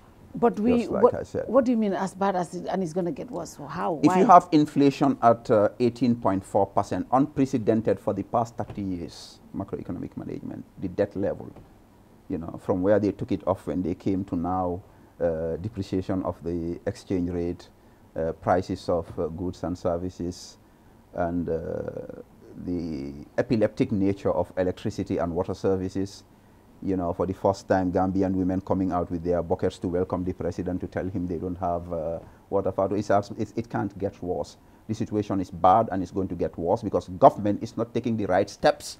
I've advised them for more than five, six, seven years. Panderi Toure is all, uh, Star FM was always my, my key witness because that's where it all started. After I gave them a break for a year or so, and then I started to advise them because certain moves they were taking around the economy, I knew that it's a economics is a, it's a science. You do certain things, you get certain results. It's incontrovertible. I advised them, they never listened. The situation started getting bad and bad and bad until now. And still, mm -hmm. they have not changed course. Because things are right now in, in, Turkey, for instance, Erdogan thought he could play games with the economy, and I think they even called it Erdoganomics or something, and you know they were letting inflation run. Rule. Now they have to change course immediately. So Gambia was supposed to do something like that. Extensive fiscal expansion, inflation is going up, exchange rate, your prices are going up. At some point you say, okay, now we need to stop, we need to reverse. But it's still the same thing. What I've seen though recently, uh, Seedy mid-year uh, report to the assembly, I found that quite interesting. How? I, I, in that they, their expenditure, they mm-hmm. were able to maintain it yeah. a little bit below the target for, for the first half of the year. Is it because because the, the grants that were supposed to come in did not come in? Uh, well, I, I think there were some some some level of uh, shortfalls in terms of inflows, yeah. not just grants, even inflows, revenue. yeah, revenue, yeah. But Fatou, I know how government was. I was budget director. Yeah. You know, in fact, the first report, I a journalist sent me a report from Standard. Mm -hmm. Was eager to jump on. Then I could not see. I said, "Send me Seedy's food report." Mm -hmm. I think surprisingly, mm -hmm. Seedy did quite well for the first half of this year. Uh, ironically, Ironic, okay. ironically, it's his governor who is uh, being rogue with the economy. And I think Seedy should rein in his governor. You have a governor central bank who is behaving like a mid-80s economic planning and development minister. What do you mean by that? The, the governor is, is, is lending money to the government, and that's the most dangerous kind of lending. It's better for them to go to the markets, money markets, and take money than central bank financing. These road projects, buying buildings from government that the central bank doesn't need. The central bank is lending lending money to government, and the central bank's ways and means of intervening in the foreign exchange market. We're hearing so many stories. Usually it's the Ministry of Finance that misbehaves, and then the central bank will call them in, even though they are our bosses, will take measures to try to curtail the impact of what they do. But here, what I'm seeing, I am really, I'm really concerned. I'm really concerned with what's happening. And like I said, uh, there's no end of the suffering in sight. But, uh, but, but, but, but our, currency is pegged at a better, uh, better rate uh, against the dollar than any other currency in the sub-region. How do you explain that? you know, Fatou, what you don't know, the Gambia has had a track record of macroeconomic stability. Mm -hmm. Gambia was the darling of the IMF and uh, some of these development partners after, of course, the mid-80s crisis when the to his credit, late Sharif Sekuba Sise and his team came in and, and, did really miraculous work in turning the situation around, stabilizing the economy. So when we come to a level where you start comparing Gambia with some of uh, these countries in the sub-region, will be Panchankalantale. Because this place was the supermarket of the sub-region. People coming in from all over, buying stuff here. And that's why Gambia, if you look at the, the time series statistics of uh, imports in this country, mm -hmm. you find out that what Gambia imports is way too big for our consumption. But that's because they come in from Senegal, from Bissau, from Mali to buy from here, and that brings in foreign exchange that shows up our exchange rate. But because of these high tax levels and uh, inefficiency, inefficiency of the tax system, among other things, we've lost those advantages, and these are all the reasons where Gambians are seeing unprecedented suffering. So the government needs to rethink its strategies and uh, constrain themselves. But at least the first report, uh, the minister's first report. Yeah, surprisingly, um, I, I, think I really, I'm, I'm going to study this further. But I know, like what you said, the sh shortfall in grant inflows, yeah. not just grant inflows, even revenues might have explained some of it. But I, like I said, Fatou, I, I was budget director. Mm -hmm. I know if government wants to stop spend money, there is nothing to stop government, even monies they don't have. Yeah. So I think I'll give them some credit for, for, for, for what I saw what in terms of performance for the first six months of uh, now the now the um, what is your assessment of the asset recycling that we have seen that the government is taking? The ferry, the, the, the, the, our bridge, the Senegambia bridge, you know, um, they, they, they have an agreement with the Af with Africa 50 to, to, to do asset recycling. I mean, a lot of people, I don't know what you take, is on the say, we can do way more, we can make way more money than what is Afri what Africa 50 is offering. Fatou, What's your take on that? It's bad and it's completely unjustifiable, unprecedented, and it just shows how desperate this government is to rake in cash now to spend when they could have gotten the same amount over a period of time. And it's a sign of the reckless fiscal indiscipline of this dispensation a fresh asset like the Senegambia Bridge that is bringing you in, uh, I think what is the statistics? About, about 50 million. The minister said about uh, 40 to 50 million because the, the, other minister said about 40 something, the other said 50. so it's about, yeah, about, a, yeah. Yeah, an month. asset that's giving you that. Why do you want to sell it? In 30 years, that is about 300 million. What we know yeah. in asset recycling, what they're doing in the UK, for instance, and mm. it's a relatively new concept. Yeah. Old prison buildings, old uh, dysfunctional government uh, infrastructure. That's what you recycle. Those who are taking over come in and uh, invest, and then uh, there are spillover positive externalities. But a brand new asset, that is a grant, not only for the Gambia, because the bridge is supposed to benefit the entire sub-region in terms of uh, mm -hmm. intra-ECOWAS trade. Yeah. You take that and give it away because you want money in advance. No, Fatou, this is bad.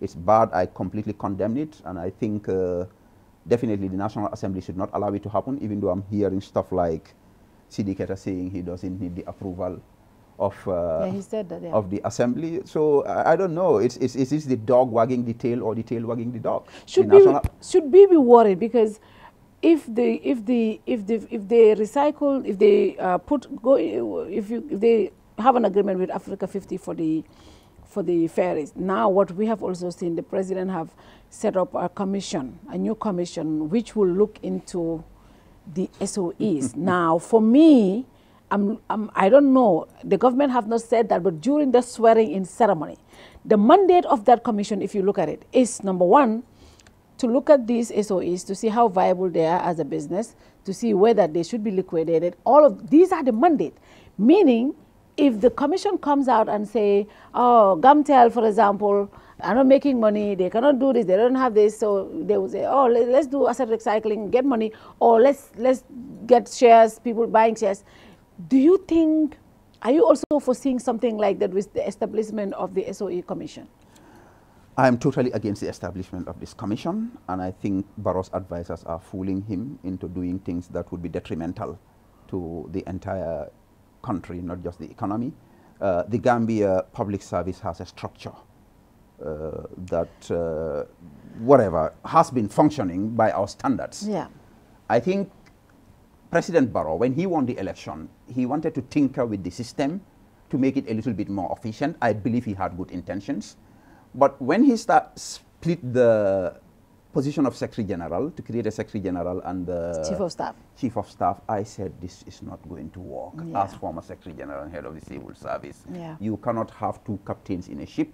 What has it created for the government? The government is dysfunctional.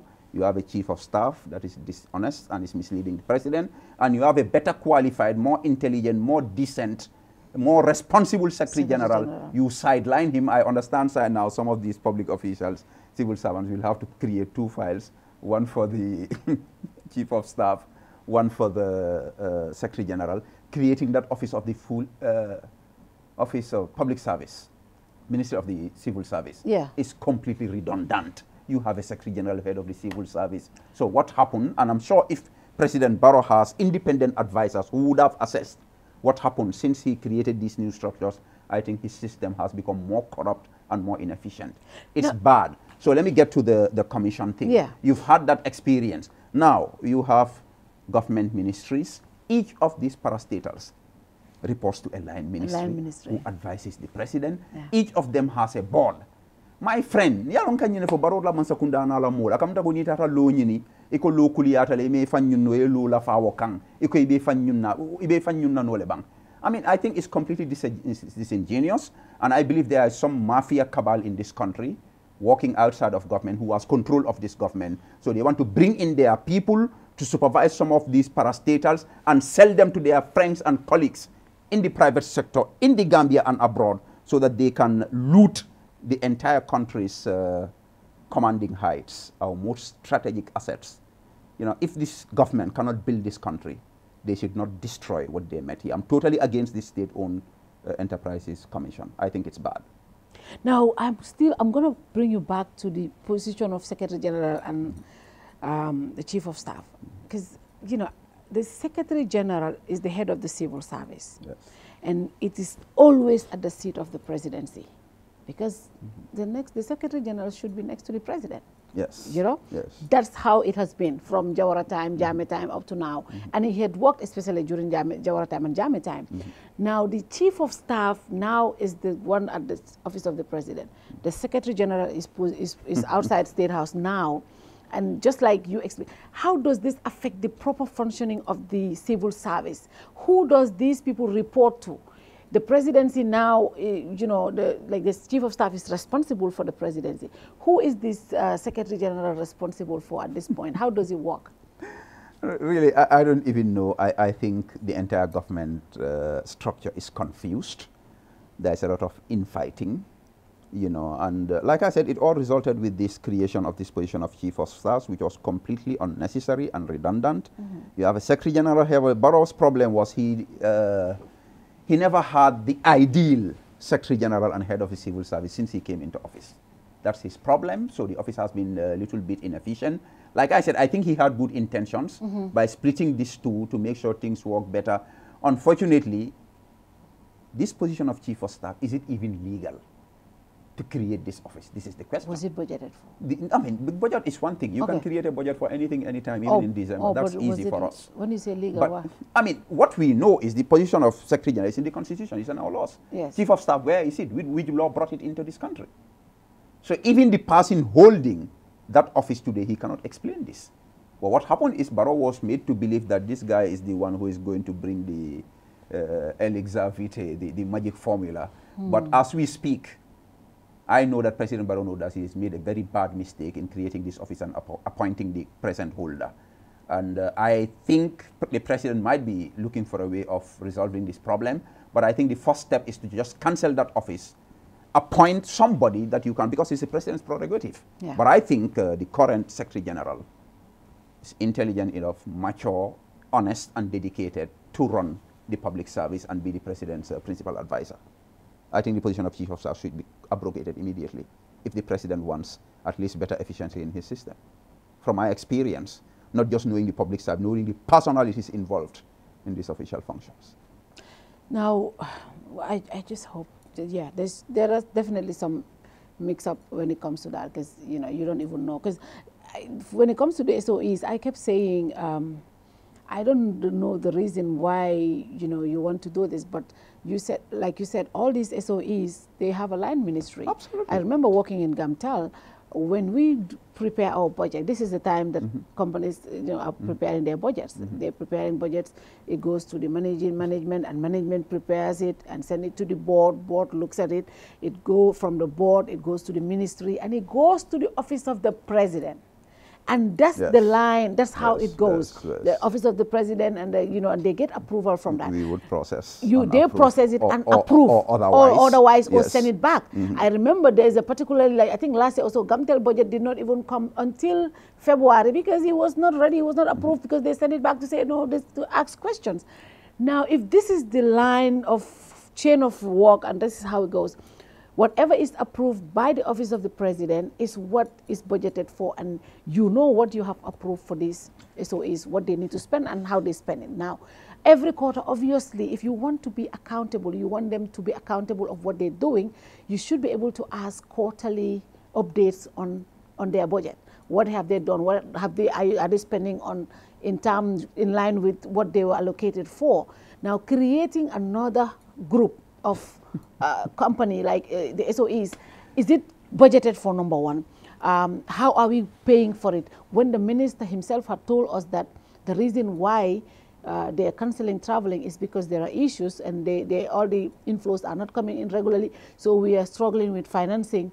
Why do we, is it, is it even um, financially, is it even viable increasing more on, it, it, on our already not. struggling budget? It is not, and it's going to be a huge burden on the system. So the system itself will become less efficient yeah. because the bureaucratic structure has been further convoluted with one more layer. Yeah. Uh, before that, you just have to deal with your board and the line ministry. Now it's the SOE commissions with people planted there with vested interests. You have to buy them cars, get them fuel, get them uh, health insurance with their families, get them office space. Support staff. support staff, really far. It's really, really bad. Things are getting worse and worse in this country because the government doesn't have a direction and the government is not sitting down to have a session of introspection to see for them honestly what's working. And I tell President Barrow easily what's not working is the incentive mechanism in the government has been corrupted. Human beings respond to incentives as clearly elucidated by Ivy League economist William Easterly in his book, uh, The Elusive Quest for Growth. If human beings do good things and you reward them, they'll continue to do good things. If they do bad things, you punish them, they'll stop it and start, start behaving like right. But you have a system where who gets appointed into a lucrative position in SOEs mm. depends on his political affiliation or his relationship with the president or the minister. So long as that is happening, these SOEs will not function properly. So long as if a Lamin Jai goes to work at Gambia Ports Authority and the wife gave him a yellow shirt as a birthday gift, because of that, you label him and you move him from Gambia Ports Authority to another institution, you will continue to weaken this institution. And this is what is happening. Appointments are on patronage, on political affiliation or personal relationships. So even if you bring 10 more SOE commissions layer upon layer, the system will just get worse. The system should be clean, corruption should be frowned on and punished. But where you have a minister getting his ministry to award contracts to his private company and gets away with it without a frown, yeah. where you have a president saying that audit reports are just opinions, mm -hmm. the mm-hmm. system is not going to get better. Forget it. Oh. Yes. But it, now, um, the government, the minister said we are doing well uh, when it comes, I know inflation is high. I am not doing well because my cash flow is more expensive today. uh, the bag of rice is more expensive. But as an economist, you know, when, when you guys speak, you say we're doing well, but as an ordinary Gambian, well, we, we are not doing well because things are expensive. Well, How do you explain uh, that uh, no, no, ratio? because I, I saw the vice president when he was answering questions at the National Assembly said, you know, they have injected almost one 10.4 million uh, billion, I think either million or billion, excuse me, I don't know exactly, into uh, poverty alleviation in the country. Now, if that is injected to support um, to support like uh, le the less privileged families, but again, you see the National Assembly saying 100 million of worth of food items had gone missing at the, from the NDNMA, NDNMA disaster relief. These are things that, you know, you cannot just understand how they happen. I can understand you saying 10 million or 5 million, even 2 million is missing. 100 million worth of food items that is supposed to be for people. How are we doing well as an well, economist? Are we really actually, doing well? Actually, if you say economists are saying we are doing, CDK is not an economist as far as I'm concerned. He's a finance guy. So, oh. he, and, and, this is the problem about appointing somebody as finance minister who is not an, is not an economist. So he doesn't mm. even know what he's talking about. The situation is bad. It will get worse. It is good for a few of them who have access to more resources than they are entitled to, and they spending like more than 50% of their time outside of this country. So they don't even know what the temperature is in this country. because the ACs are brand new and they have standby generators, they don't care whether the network works or not. So it's okay for them. So these are not economists saying. What the real economists in this country are all saying is that the situation is bad and it's getting worse. So with the vice president coming to say they are injecting money, you know, like uh, I think it's Modu Bilokurubali. We once had this uh, conversation where mm he said, you know, Gambians have this issue of throwing money at a problem. Money doesn't sol solve a problem. It's knowledge, it's experience, it's honesty and integrity and smart, intelligent work that solves problems. Of course, you will need money to facilitate that because you need to pay the hands that do it. Mm. You need to buy the stuff. But any problem, we, we throw this money. Like mm -hmm. the president, when the floods happened the last time, How many million project is coming? Where is it going? Mhm. So what the vice president said is belied by what the audit reports are revealing at the national, and, and I want to commend the National Assembly.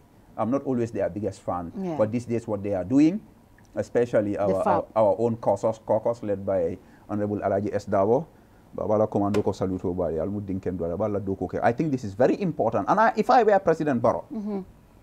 I would take a non-partisan stance on these revelations at the assembly, Assembly, yes. and just let due process take its course. I'm not saying that if a particular ministry is accused of not being able to account for a certain money, you do Jammeh style and pick them and take them to drug squad or and I'm not saying that. But recommendations by the assembly should be looked into. By no, not even look, Look but implemented, implemented. according to due process. Fatou, this is not rocket science. Because if President Barrow really mm-hmm. wants the people who voted him into power to be happy, he should be interested in making sure that the monies that his government is pumping to alleviate poverty, they go to those women of Nyani Sukuta and, Yeah. and, and Kiang, Kiang, Kiang Tankular. Yeah. This is not rocket science. So the monies are there, but because of the level of corruption and political brinkmanship, the money is not reaching where it is reaching. So I commend the UDP MPs for the great job they are doing. I think the NPP MPs should work with the opposition MPs and they all speak one language, the interest and benefit of the masses. I think this is a unique opportunity without any witch hunting or without any targeting of individuals just because they are in public office. Recommendations are here. Let them be implemented according to law. I mean, I think I've seen the, some a lot of the NPP MPs, MPs also uh, coming, uh, you know, because some of them are members of the FRAP committee, and they, these recommendations come from them. But also, even at the judiciary uh, bill, I mean, the NPP members were vocal. They Uh, were so uh, vocal, and you know, it was some of the be- you, to be- some of your UDP MPs. let's not get there. No, let me make this clear. It was some of your UDP MPs who were saying, "Let's take it to the next stage and look at it." Well- they were being nice, but the NPP MPs, some of them were very vocal. I must say though, some of your UDP MPs condemned it from the beginning, Yeah. but there were others who were saying, "Let's take it." So the you know the NPP also No, are. I, no, I, I agree Mhm. that some of these NPP MPs are, are doing a fantastic job. We just want to encourage them, Mhm. whether they are UDP or NPP, Yeah. that let them work for the interests of our poor people, especially women and youths. Yes. Now to politics, Mhm. UDP. The biggest and the baddest. Really? Unstoppable. No, you're not the biggest right the, now. The, the yellow tsunami. Right now, NPP is the biggest party because How? they, they won the presidency. What's with the- 400,000. Like how, many how, how many years ago? That is two years ago. Two years ago. Just that's years that's ago. a long time in politics. No, they are the biggest. They now you need to update your iOS, man. We are, this is 2023. Hello. But they are the biggest party, right? They now. are not the biggest party. Two years ago, they may have been, according to Ali Momarr Njai. We just had elections. What do you mean, according to Momarr Njai? Uh, Ali, that's what he said. I never accepted those. But you accepted these other results, though. Yes, The because same Ali this Momarr Njai. we, we, we, we, we, had stopgard measures. These squirrels, all the holes they were going into, we had our guards there. So this one is authentic, and we beat them. We are the biggest party. We won the popular vote. NPP is opposition sitting on presidency. As Hussein Uda was said, we are no longer opposition from Banjul up to what is the name of the bridge? Pakaliba Bridge, Pakaliba Salo, Kabo Banjul. Fok Pakaliba Salo, Hussein Dabola Mansa Kundale wati. President Barola na kafa bolon kono Mansa. Ntolle Mansa te banko kambi. Ah, Banko Ben Tolle Bulu, we are the biggest party, we are the most resilient, we are the yellow tsunami, and nobody can stop us. Let's see. 2026, I'll invite you for tea in, in State House, inshallah. With who? Who is going to His? Excellency the President is uh, uh Al Haji Ousainou Numukunda Darboe. So a lot of people, even your party members, Molko, it's mm. about time. Is Luhedabo thinking about retiring? Why, why, why, why should he retire? A lot of people said he went to election because a lot of you guys, Allah eh, Molo, Fatou. Allah Molo, ikafoloko. You know, I see a lot of people saying. Um, I saw where somebody said, "Alko dawo, alko baro manyana tala another tamla." Why not? Atola fanana patili lemi alonko. He ran for how many times? This is the third time. Is it for UDP? You go, you go for UDP among other competent people. So means a party run, means a all candidate. Why do it, does it have to be him? Hani kiyankol nila tole ya. Fata Ah, kiyankola. Kordala Saro. Mm. Ise firi nyawo nya. Mm. Ye baraka nyawo nya. Iba buka fo ifama e jinga ke suti yoti sa nga kanyantare. Mo buka oke. Mm. He's our leader, he's our father, in a party that's the most democratic party in this country. Even NPP, if you look at their structures and congresses, they're just trying to copy UDP. No, Alban democratic. We are the most democratic party in this country. Al dem democracy we have democratic processes alla from our selection of councillors. Alla congress jana. What? what? Alla congress min kita janjambure. What is the problem with eh, the congress? Fengol kita jele de. Muna kita jele. Alman democratic wo nyama de. Man democratic nyadi? No. Because all the positions were open democracy and mu minti democracy mu minti sabali wolong. Yes. nin ko fa tuture ka lafta lola again sabali kana ta ya fa ko kana lo sabali ka lobi ka bonda. Bulay lo lobbying is but part of democracy. No, the biggest lobbies are in the in the in the mecca of democracy washington dc uh, is normal. alla democracy destal alla congress nga ko wala nga alla democracy destal congress momo yake nyim banko kan ika udp tale tay ka copy. Mm -hmm. wata natra dasita wata to lefisiata wol dol beti. We are still the champions of democracy in this country, from the ward councillor to the mayors, National Assembly members, positions in the party, all goes through a democratic process. It is those processes that install His Excellency Alhaji Ousainou Darboe as the party leader and Secretary General, the same processes that installed him as flag bearer in the last election. Several people have interviewed him, asked him, is he going to stand in the next election? Yeah. He refused to pronounce it because he doesn't want to flout our democratic principles because it is the central committee that decides who becomes our flag bearer, and the time has not come for that decision to be taken. When is that decision going to be taken? When the time arrives. We're going to 2026. Why, why, why, why is everybody in a rush? You know, I think really, mm -hmm. maybe as campaign manager, I need to tweak my strategy. It looks like all Gambians are UDP. Everybody is interested in our affairs. I think we'll do better in 2020. We want to everybody, know. They, everybody's obsessed about our see, party. See, the thing. The, the reason why we ask oppositions are government in waiting. Yes. And as the biggest opposition party, mm -hmm. we expect that you know you are going to be the biggest challenger to the to yes. the to the to the president. We so we want to know whether you are internally democratic. I am telling you as an insider. You are an outsider. Yeah. Are you doubting me? Do you no, know I'm not doubting you. I'm just saying yes. what I also see. Yes. So but now what will not happen, Fatou, mm -hmm. in a billion years mm -hmm. is non-UDP members. Yeah telling UDP what to do with our party and who to be our in a billion in be UDP ngol fango la iman imantra na parti la fanto la parti weta mala nyame te ofo. Ata kala nyim banko kan lan ya long araba ni ko lan la na yatun wa inkarun. Men ne manki amantra kila wata kala wata kala nyim banko kan na parti yon lafta me tambi wala be tambi. Inshallah bi idnillah so um, during the local government elections from the chairmanship to the council, mayor, check council, council mm election or local government bay, mm -hmm. momentum build. Uh, you guys, you know, build the momentum, uh, considering coming from the presidential. Uh, how are you going to, as campaignmen how are you going to keep that momentum to 2026? Are you able to do that? Do you have the resources? Do you have the all it takes to be able to keep that momentum to the presidential? Yes, indeed. And Alhamdulillah, we thank Allah for it. Mm -hmm. The base is solid. Uh, even those few people not quite few actually, because some of our supporters really mm -hmm. lost steam after the alleged loss yeah. of the 2021 election. Yeah. Uh, but with the rebound in the parliamentary and the local government elections, a lot of people have, have built up uh, energy and even outsiders wanting to join our party. Mm -hmm. So to build up that momentum, far it's not difficult. UDP party, uh, I mean, politics is difficult. It depends mm -hmm. on money.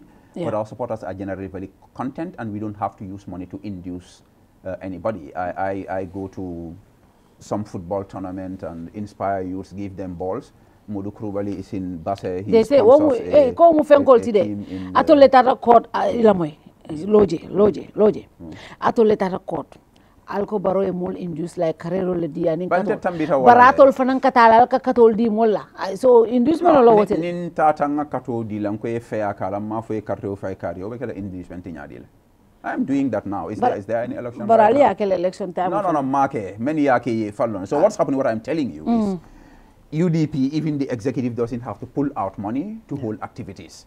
The, uh, the people of Kiang Nema, you know, these Kiang people, their economy is very, very subdued. There's no market in the whole of Kiang. So, but they held celebrations on their own. I mean, you, you, you, I mean, you, you, you were awed mm -hmm. by the amount of resources that are. For me, that's, a, that's bigger than any political rally they were celebrating the victory of their ward councillor of, yeah. uh, I think it's uh, Jifarong ward. Yeah. So you have all of these activities. The activities will continue. UDP in Cole, even right now, there's a UDP meeting somewhere that I don't know about. Yeah. So it's, it's easy and people, uh, I know people who were against UDP in 2021.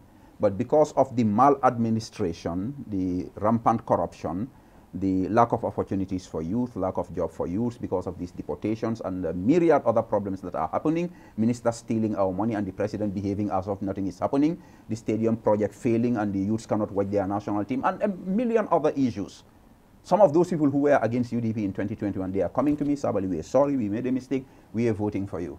Because of my disarrest, a couple of young people came bro ñun votaluñ leen 2021 de waaye gis nañ luy xew si dëkk bi fu mu nekk pare leen ñun ñëpp we are coming. I'm not making this up. And these are from uh, population segments that you don't even expect.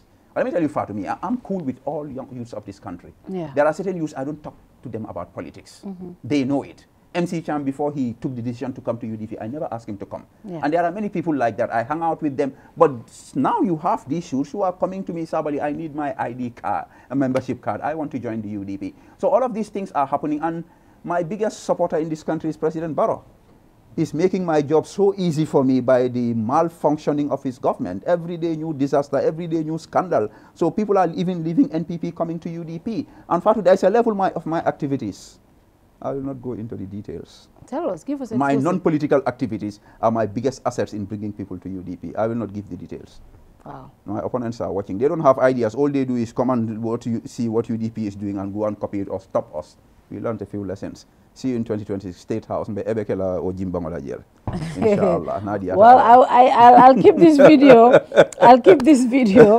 I'll definitely keep this video. Yeah. Uh, finally, to uh, the hundreds and thousands of supporters of Momodou Sabally mm -hmm. who are worried, are concerned. Um, I know you, mm -hmm. you are on bail. Mm -hmm. uh, you're supposed to go back to court. We don't know whether you will go to court, but you have been charged, so there should be a court proceedings, mm-hmm. right? Mm-hmm. To those people who are really worried and, you know, what would you say to them? Well, first, I want to thank them for, for their support and trust and confidence in mm -hmm. me, really, Fatou, because if a whole government is coming up with trumped-up charges against you all the time, and I know the government targeting me, making me their number one target. It's not only about trying to get me in jail, because this government knows that I'm right, law-abiding. They are lawyers and police. They you know what. I said before you yes. go? You know what I said? Yes. Actually, two days before that was uh, Yankuba Dabola. Uh, court. Dabola court. Yeah. I call MC Cham. ma ne ko yow yow yo, MC Cham. sa boos sa yang eh, Talib Bensouda ak Sabally yéen a gën a tapé doo leen dem si benn protest. Da ngeen rag I said this and I didn't know. Ma ne ko xam naa ne yow doo dem. Sa boos Talib du dem. Sabally du dem. Yéen da ngeen ragal. Yéen na ngeen wax binda wax ju rëy waaye protest. Ñëw ñu leen ko. And I said this too. MC so and I at the following day ne MC ana sa boss dem na. Mu ne ma non demul de yow demuloo Sabally demul mu ne ma xam nga ñun dañ wex dunga suñ demee am luy xew so moo tax duñ dee dem. But you don't go to you don't even go to protest. Like to be honest I don't like the idea of protest. And for one main reason once you bring people out and you mobilize them you lose control. Mm -hmm. and in a mafia system yeah even state security can uh, mask themselves and come to pretend to be supporters of your party or your movement mm -hmm. to create trouble and mm -hmm. to implicate your, your movement's leaders. Yeah. So generally, that's why I don't like it. Mm. But uh, the Young's case in particular, yeah. some people ask me to go. I say, I'm not going. Fatou, mm. I have an electric effect on any crowd by the grace of Allah, mashallah. If I move into a crowd, it's, it's it gets e excited. And yeah. I know having a youthful crowd next to paramilitary, if I get in there, there'll be a problem. So all of this is try to avoid trouble between my party and the state authorities. I mean, I wish I could say all of the steps I took to try to avoid an incident between the paramilitary and UDP supporters at Young's Court. Wallahi, all of you know, But I know the situation of the country, and I know my party is at pole position on cruise control to the presidency in 2026. It is not in the interest of us as opposition for there to be violence and chaos in this country. It may not be the interest of the state as well, but when it happens, the state just brings out their forces and uses it to oppress the people and to limit people's freedoms. Mm -hmm. So as a responsible opposition member, as part of a leadership of a party that's led by a constitutional lawyer, whose standing instruction is don't break the law, don't get involved in violence. I called the UDP National uh, Youth President during that week when all this uh, noise was coming that we I said, you know the party leader's standing instruction? He said, commando. In fact, his, his voice is, uh, is echoing in my mind. So I don't do it And I don't want it. I don't want any problem in this country. We've gone through an electoral cycle successfully by and large, peaceful elections. I don't think it is necessary mm -hmm. for there be any, to be any conflict or drama between NPP or UDP or NPP using the security forces to create chaos by, by pitting them against the UDP. I don't think it's necessary. I don't want it. I am doing everything to make sure it did not happen. In fact, there was a moment during my last detention when I was, they were trying to stain me with the alleged coup, mm -hmm. when the imams came and a particular sister of mine came. Because I was very angry also. And I knew that I had a backing outside that was willing to protest on my, on, on my side. So when they came for the mediation, they said, you know, Sabally, we know you, you are with the youth of this country. Mm -hmm. Your party youths and those who want to protest on your behalf, they are your youths. But this paramilitary too, they are your youths. They may be taking command from the police authorities and they don't have a choice. But I said, do you want these protesters to come and face this? But that was a, a light bulb moment for me. It was that moment that I told the mediators, look, this is over. Whatever is going to happen to make sure the protesters do not come and these youth protesters don't come and face these innocent youth paramilitary, I'll make sure it doesn't happen. And since then, I've been very, very careful about that. Wherever there is a crowd of uh, opposition supporters coming into contact with the law enforcement, I try to make sure it's, it's, we avoid it. Because, Fatou, we know we are the most popular party and know, we know we are going to win. So it is not just a responsibility as a, as a citizen, but also as a smart politician. We don't want chaos as an opposition. So back to your question on my supporters, mm -hmm. and I know they are a lot, and they are not just UDP. They are in NPP, they are in PDOIS, they are non-political actors also. Mm. I want to thank them for their solidarity and support and confidence in me because what the government is saying, back to it again, is not just to stain me and lock me up, but to do a propaganda to paint me as a violent, unpatriotic, irresponsible person government has failed because these people, they love me and they trust me. I got a message from a young man from, from New York, one of the most inspiring messages I ever heard. Mm -hmm. He told me, Sabally, we know that you are the number one target of this government. They've done everything to you, from alleged coup involvement to alleged murder to banning you and everything. And uh, we know this is unfair. We know this is tough on you. But he said, Sabally, I'm not sorry for you. Hmm. I am not sorry for you. I just take inspiration from your, from, from your patience and your resilience and the fact that what they want to do to silence you, they cannot do it. You inspire me. I am not sorry for you. And I, I think I, I, shared it. I shared it on my Facebook page. I mean, I know it's tough, but that's the, that's the spirit I want my supporters. And don't be sorry for me. I'm on a path.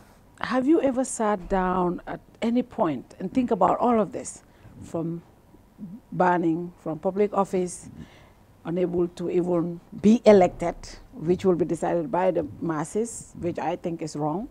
I think you will be one of the most effective lawmakers. I said, Hanata Sabal Damalta, I think we'll be fine.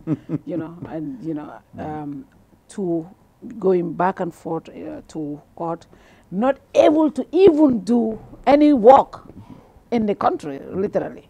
Has you, have you ever sat down and just have a like talked about all of this and shed tears or just get sad or feel sorry for yourself or anything? Have you? No. Really? You know, it, it, it's very interesting. Uh, I think there's a quote uh, going around attributed to my wife, Jay, where she said, uh, yeah. you think you can break, break this guy, you don't know the source of his inspiration.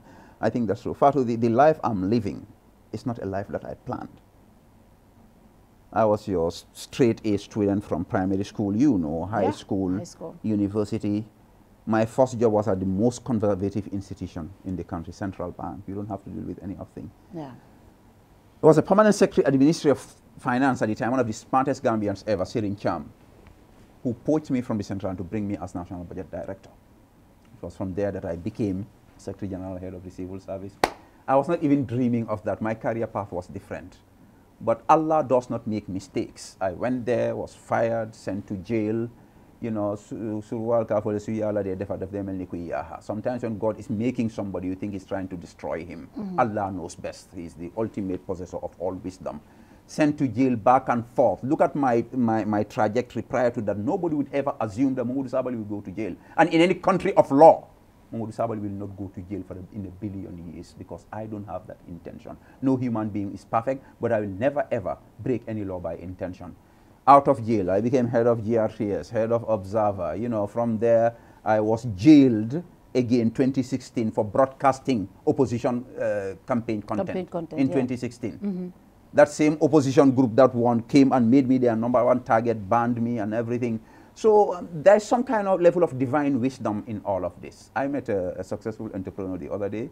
He said he listened to my last interview on Peter Gomez's uh, Coffee Time. Mm -hmm. He was shocked. Yeah. The kind of things I was saying, he did not expect me to say. But that's because he doesn't know me. Because when it comes to the truth, Modu Sabally has no friend. Mm -hmm. I'll see, speak the truth, whether it affects me and my friends positively or negatively. Yepama Emal. So he told me, look, Sabally, you know, all of these things it's all on purpose. It's all on design. Mm. Just continue what you were doing. All I'm asking you, talk to the young people of this country. Give them hope. Inspire them. Guide them. Ado bari nga kitabol fanan karande de. Yeah. Kabiring Al-Qur'ano. Kitabo. I mean, the, the consolation of philosophy. Boethius. Roman sol uh, Marcus Aurelius nyol. Uh, Ralph Waldo Emerson nyol. Nga kitab jamal le karanga. I did a lot of reading to prepare myself for life. And incidentally, I'm a motivational speaker and author. I've yeah. been in this. I've read practically every book, book, worth reading that can inspire and educate a human. Biographies from Albert Einstein to Benjamin Franklin, the Sirah of Rasulullah sallallahu alaihi wasallam, Steve Jobs, you name them. All these great people of modern and ancient times. And I know that what I'm going through is just a normal path of what they all go. Who is Momodou Sabally? He uncle Nimbedi, a little body bunka boy from nowhere. Alala kila, ala ala annabiyon wol wol batata. Yeah. Ala mokendo la mansake woli e soron jumale modu sabaliti. Ko fanan se batata do mandine wala na kabiri modol nata njibe bunja woto e ko be kumbola ko e dugare. Jamu ke wulolete. Ke o kada do mole. Mala fi sama telen tolle kulu uh, kombola men. Yeah. Na be dunna juju ko na ka fole natare sara kajumbe mo natale bala fabalo. Ka buso ta ke tilimbaliya. Kewulo man ɗin ka aɗo yontol kuluwol ntol te kumbolante pisal nante mulla koma inchallah bi idnillah ate bayilamo ko ñanta futala ɗam ɓe futala jele na biyata alay Inshallah. Inshallah. And thank you very much, and thank you for being an inspiration to a lot of us, especially people from our area. Thank you. Ngamwe na broda ateo ngamra Yeah. zero four song. Bayo song. Ate mi mbeke PIU. Bayo mi mbeke. Bayo bayo bayo bayo mi mbeke PIU. Na ba yaron defango iman diten dula killing bar ni mul natante ya. Ni story ka fo. ko naltara fa ente ka ye sabari kawi ka man son domorola ko ye ko dukala fa commando fo be ya yalo mayor talib came there Ah. to see me with tombong sedi Yeah. and we were talking i said so talib was supposed to go and see him. I said talib please can you tell my brother pour man bul worry bul dem. So i later had a conversation with talib. He said he said bayo hmm, sabali mom muge de juicy ange duga digena nga banya leka another person came i said you know what buy him shawarma i think he will like that No. i think it, it was a bit uh, reactionary and you can understand why i mean Yeah. it's injustice it hurts Yeah. it hurts and you know bio he will you, you know he's, he has a good heart Very good bio, heart. bio is not a violent Yeah, person yeah. uh, but uh, he just expresses his emotions, Emotions. As, as he sees fit and Yeah. it's, it's really Yeah. you know our experiences are different Mm-hmm. I never knew President Barrow from Adam. I mean, I never participated in this struggle to change. Yeah. But Barrow was right there. He was right there. Uh, we still appeal to him to be calm, and I think he's listening. He's listening. Yeah, I think he's, he's, he's, he's, a, nice guy. he's listening. Yeah, he's a, he's a great guy, and you know I was very concerned, Yeah. but you know, thank Alhamdulillah. Molumbe Jubela, final message to the general population. We have over 2,000 people watching right now. Um, I think a lot of them are inspired. 2,000 people, that's intimidating.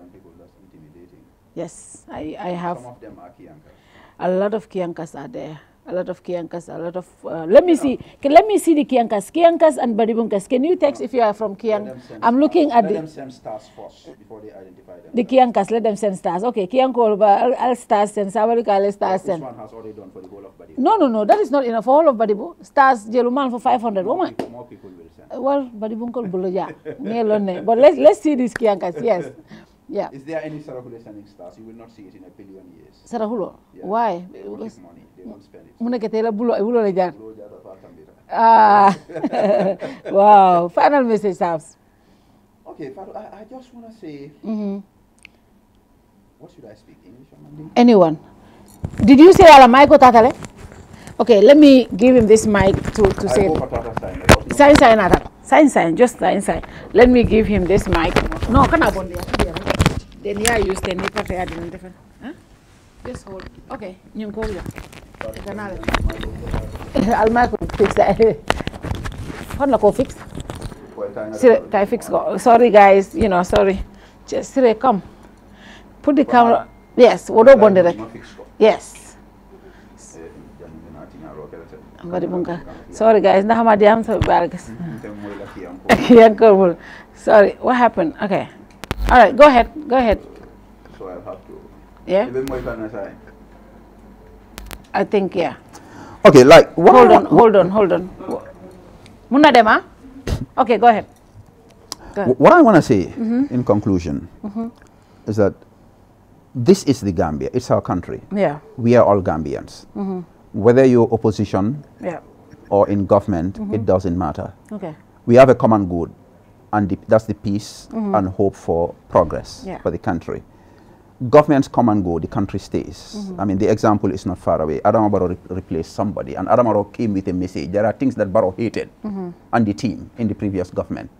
Uh, the, I mean, uh, President of America, what he said, Mintumalen Sukuta Fumul Manyo Sudi. Omar, you are late. Hello. the General Bakso. Omar Wali, me and my man Bakso, we have a problem. We'll you, are, you, are, you are tomboying no, I, Bakso? No, I think we have to go to UN Security Bakso, Council. Bakso, to, I have to wear a green. For mm. dun tele ko nga green dun fom patara pra interview din hansa amade. Bakso will not interview you. He will not grant you an interview.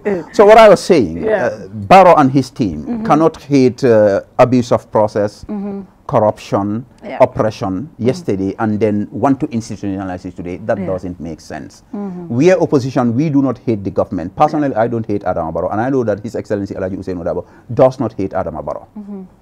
So they're in government, they have a way of uh, running the government. We think there's a better way to do it. I don't think that should bring in hatred and unnecessary animosity we are in opposition. Some of us had an option to mm -hmm. join the government or go to opposition. Yeah. We decided to be in opposition. Let them respect our decision. Mm -hmm. There are laws in the country and no human being is perfect. If we go against the law or break the law, come for us. Mm -hmm. But don't try to use abuse of process like the fact that you the law allows you to call me mm-hmm. Friday evening and keep me in a cell up to uh, Monday, mm -hmm. do not abuse the process because yeah. we know the law is on us. Don't do it. It's not good for me, but it's not good for you either because you're looking for public safety, you are looking for support. The incident that uh, orchestrated all the drama that we are in right now, two young Gambians dying. Yeah. The person who did it, we're still trying to establish the facts of it. There's no sane Gambian who will be happy about that. No. And Gambians did show their maturity and decency in coming together, regardless of ethnicity or political affiliation, to condemn this act and to show solidarity with the police. The police are not our enemies, and we know it, even those in, our, in, in, in, in opposition. Yeah. Police will kawyol be konontol politician from kawyol ben konole. Mm-hmm. Let's try to control the rogue elements amongst all of us so that there is peace in this country. I don't think IGP Sanyang, much as I criticize him and disagree with him, I don't think his desire is to see the police clashing with the opposition. But there are trigger events that happen, rogue elements that you know. Please control them, talk to them. If it means firing them, fire them. Because I know there are incidents in UDP mm -hmm. where people threatened violence, and my party leader came and said they, those people should be arrested. Mm -hmm. So if, his, if, if, if His Excellency Ousainou can show that leadership, I think Doshan Power should do even better. Uh, I think we should all focus on the victims of this uh, tragic incident and their yeah. families. The police have made mistakes. Individuals have made mistakes. Mm -hmm. I think the police should lead this process. I think President Barrow should restrain his spokesperson and his, uh, some of his politicians to allow the police to do their job because they have the sympathy of the media and the entire country so that we all cooperate to make sure this uh, debacle, this uh, whatever it is, is resolved according to law and justice is served. I think that's in our collective interest. For those of us in the political sphere, mm. politics continues. Yeah. But I have lovers, friends, and admirers and, and, and, and relatives in NPP, mm -hmm. in, in APRC, Yeah. You know, you just mentioned my man Bakso. Bakso, Even yes. though he was not very happy. no, he said he's not happy that I went to. He says the way I did it. Uh, that is what was wrong. Was but wrong. Bakso is still my friend. And you know, occasionally, sometimes the rhetoric gets tough. Yeah. But Bakso is still a brother. Okay. You know, Fafa, the first time I met him here at the Bantaba, Very nice you saw the interaction. So Yes. if we can live in peace, Mhm. mutual understanding and respect, let us not ignite hatred. Let us not ignite violence. Let us not support chaos in this country.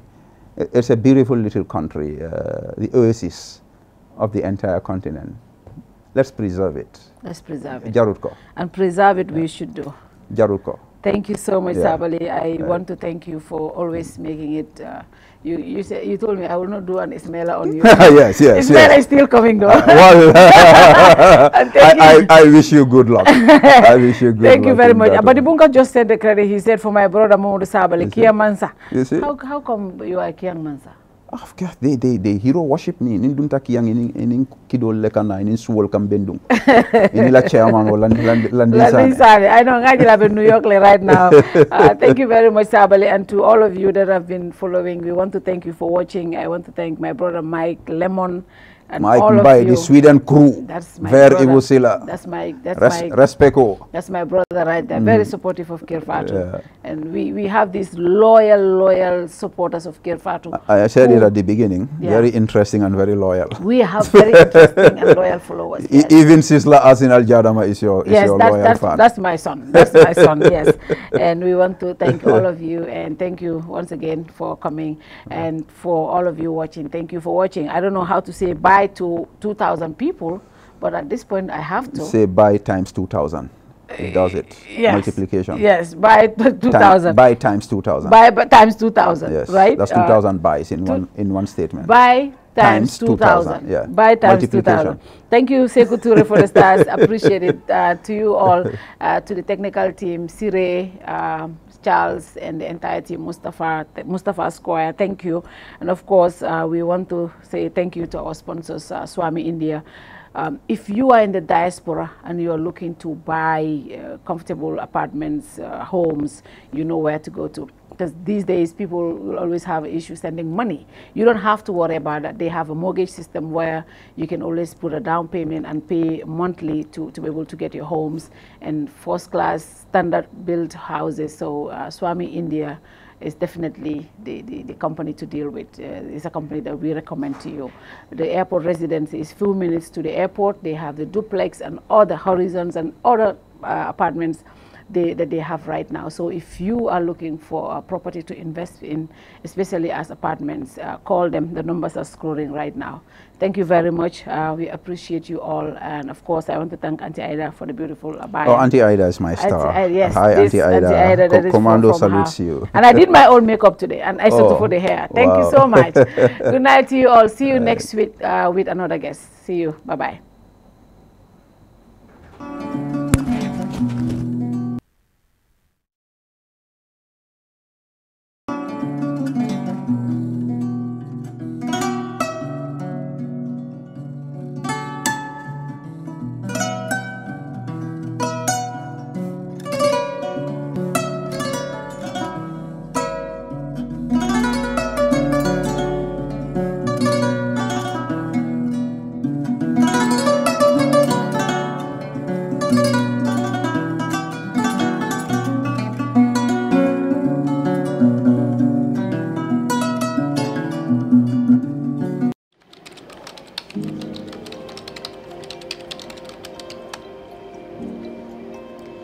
announce the launch of our new logo. We have evolved since our incorporation in 1997 and it is time to refresh our new look to reflect who we are today. Before I reveal our new look, however, walk with me while I take you through our journey of the last 25 years. Trust Bank was incorporated on July 3, 1997 and began operations on October 1, 1997. Following the collapse of the parent company of its predecessor, Meridian, the CBG stepped in and recapitalized the bank and held the shares in trust, thus the name Trust Bank. In 1999, the first investors who responded to the IPO and paid $1.50 per share received their maiden dividend of 50 bututs per share. In 2000, the bank fully paid back its investment by declaring another dividend of $1.20 bututs per share, making it a cumulative dividend per share of $1.70, which was 20 bututs above the purchase price. Between 2002 to date, share capital has increased from $27 million to $200 million, indicating that the bank has grown organically by plowing back profits to increase capital while at the same time paying dividends to shareholders. The bank was listed on the Ghana Stock Exchange in November 2002, being the first ever cross-border listing in the sub-region. Now let's talk about awards. The bank was awarded the insignia of the National Order of the Republic of the Gambia, ORG, in the year 2010 by His Excellency the President of the Republic of the Gambia. During the past years, the bank has received so many national and international awards. Banker Magazine, six times. Global Finance, six times. Gambia Chamber of Commerce and Industry, five times. We began operations with three branches.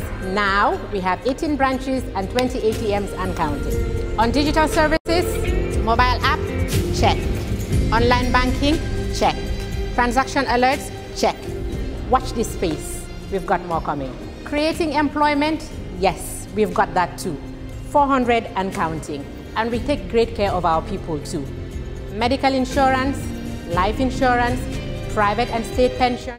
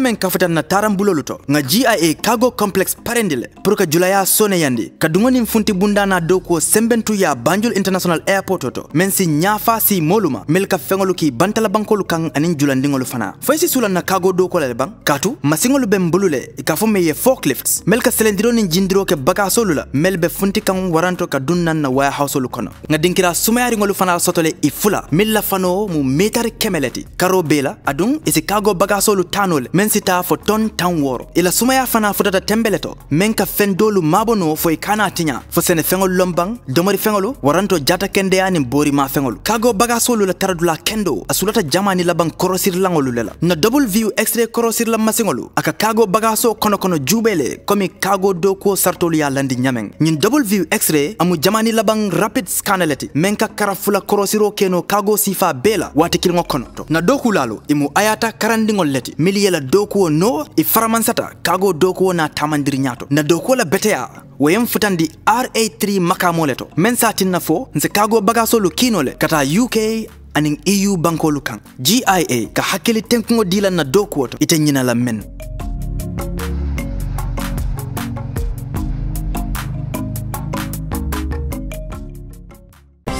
Every day is a new opportunity to make sure our first impressions are always our best and to see possibilities on the horizon.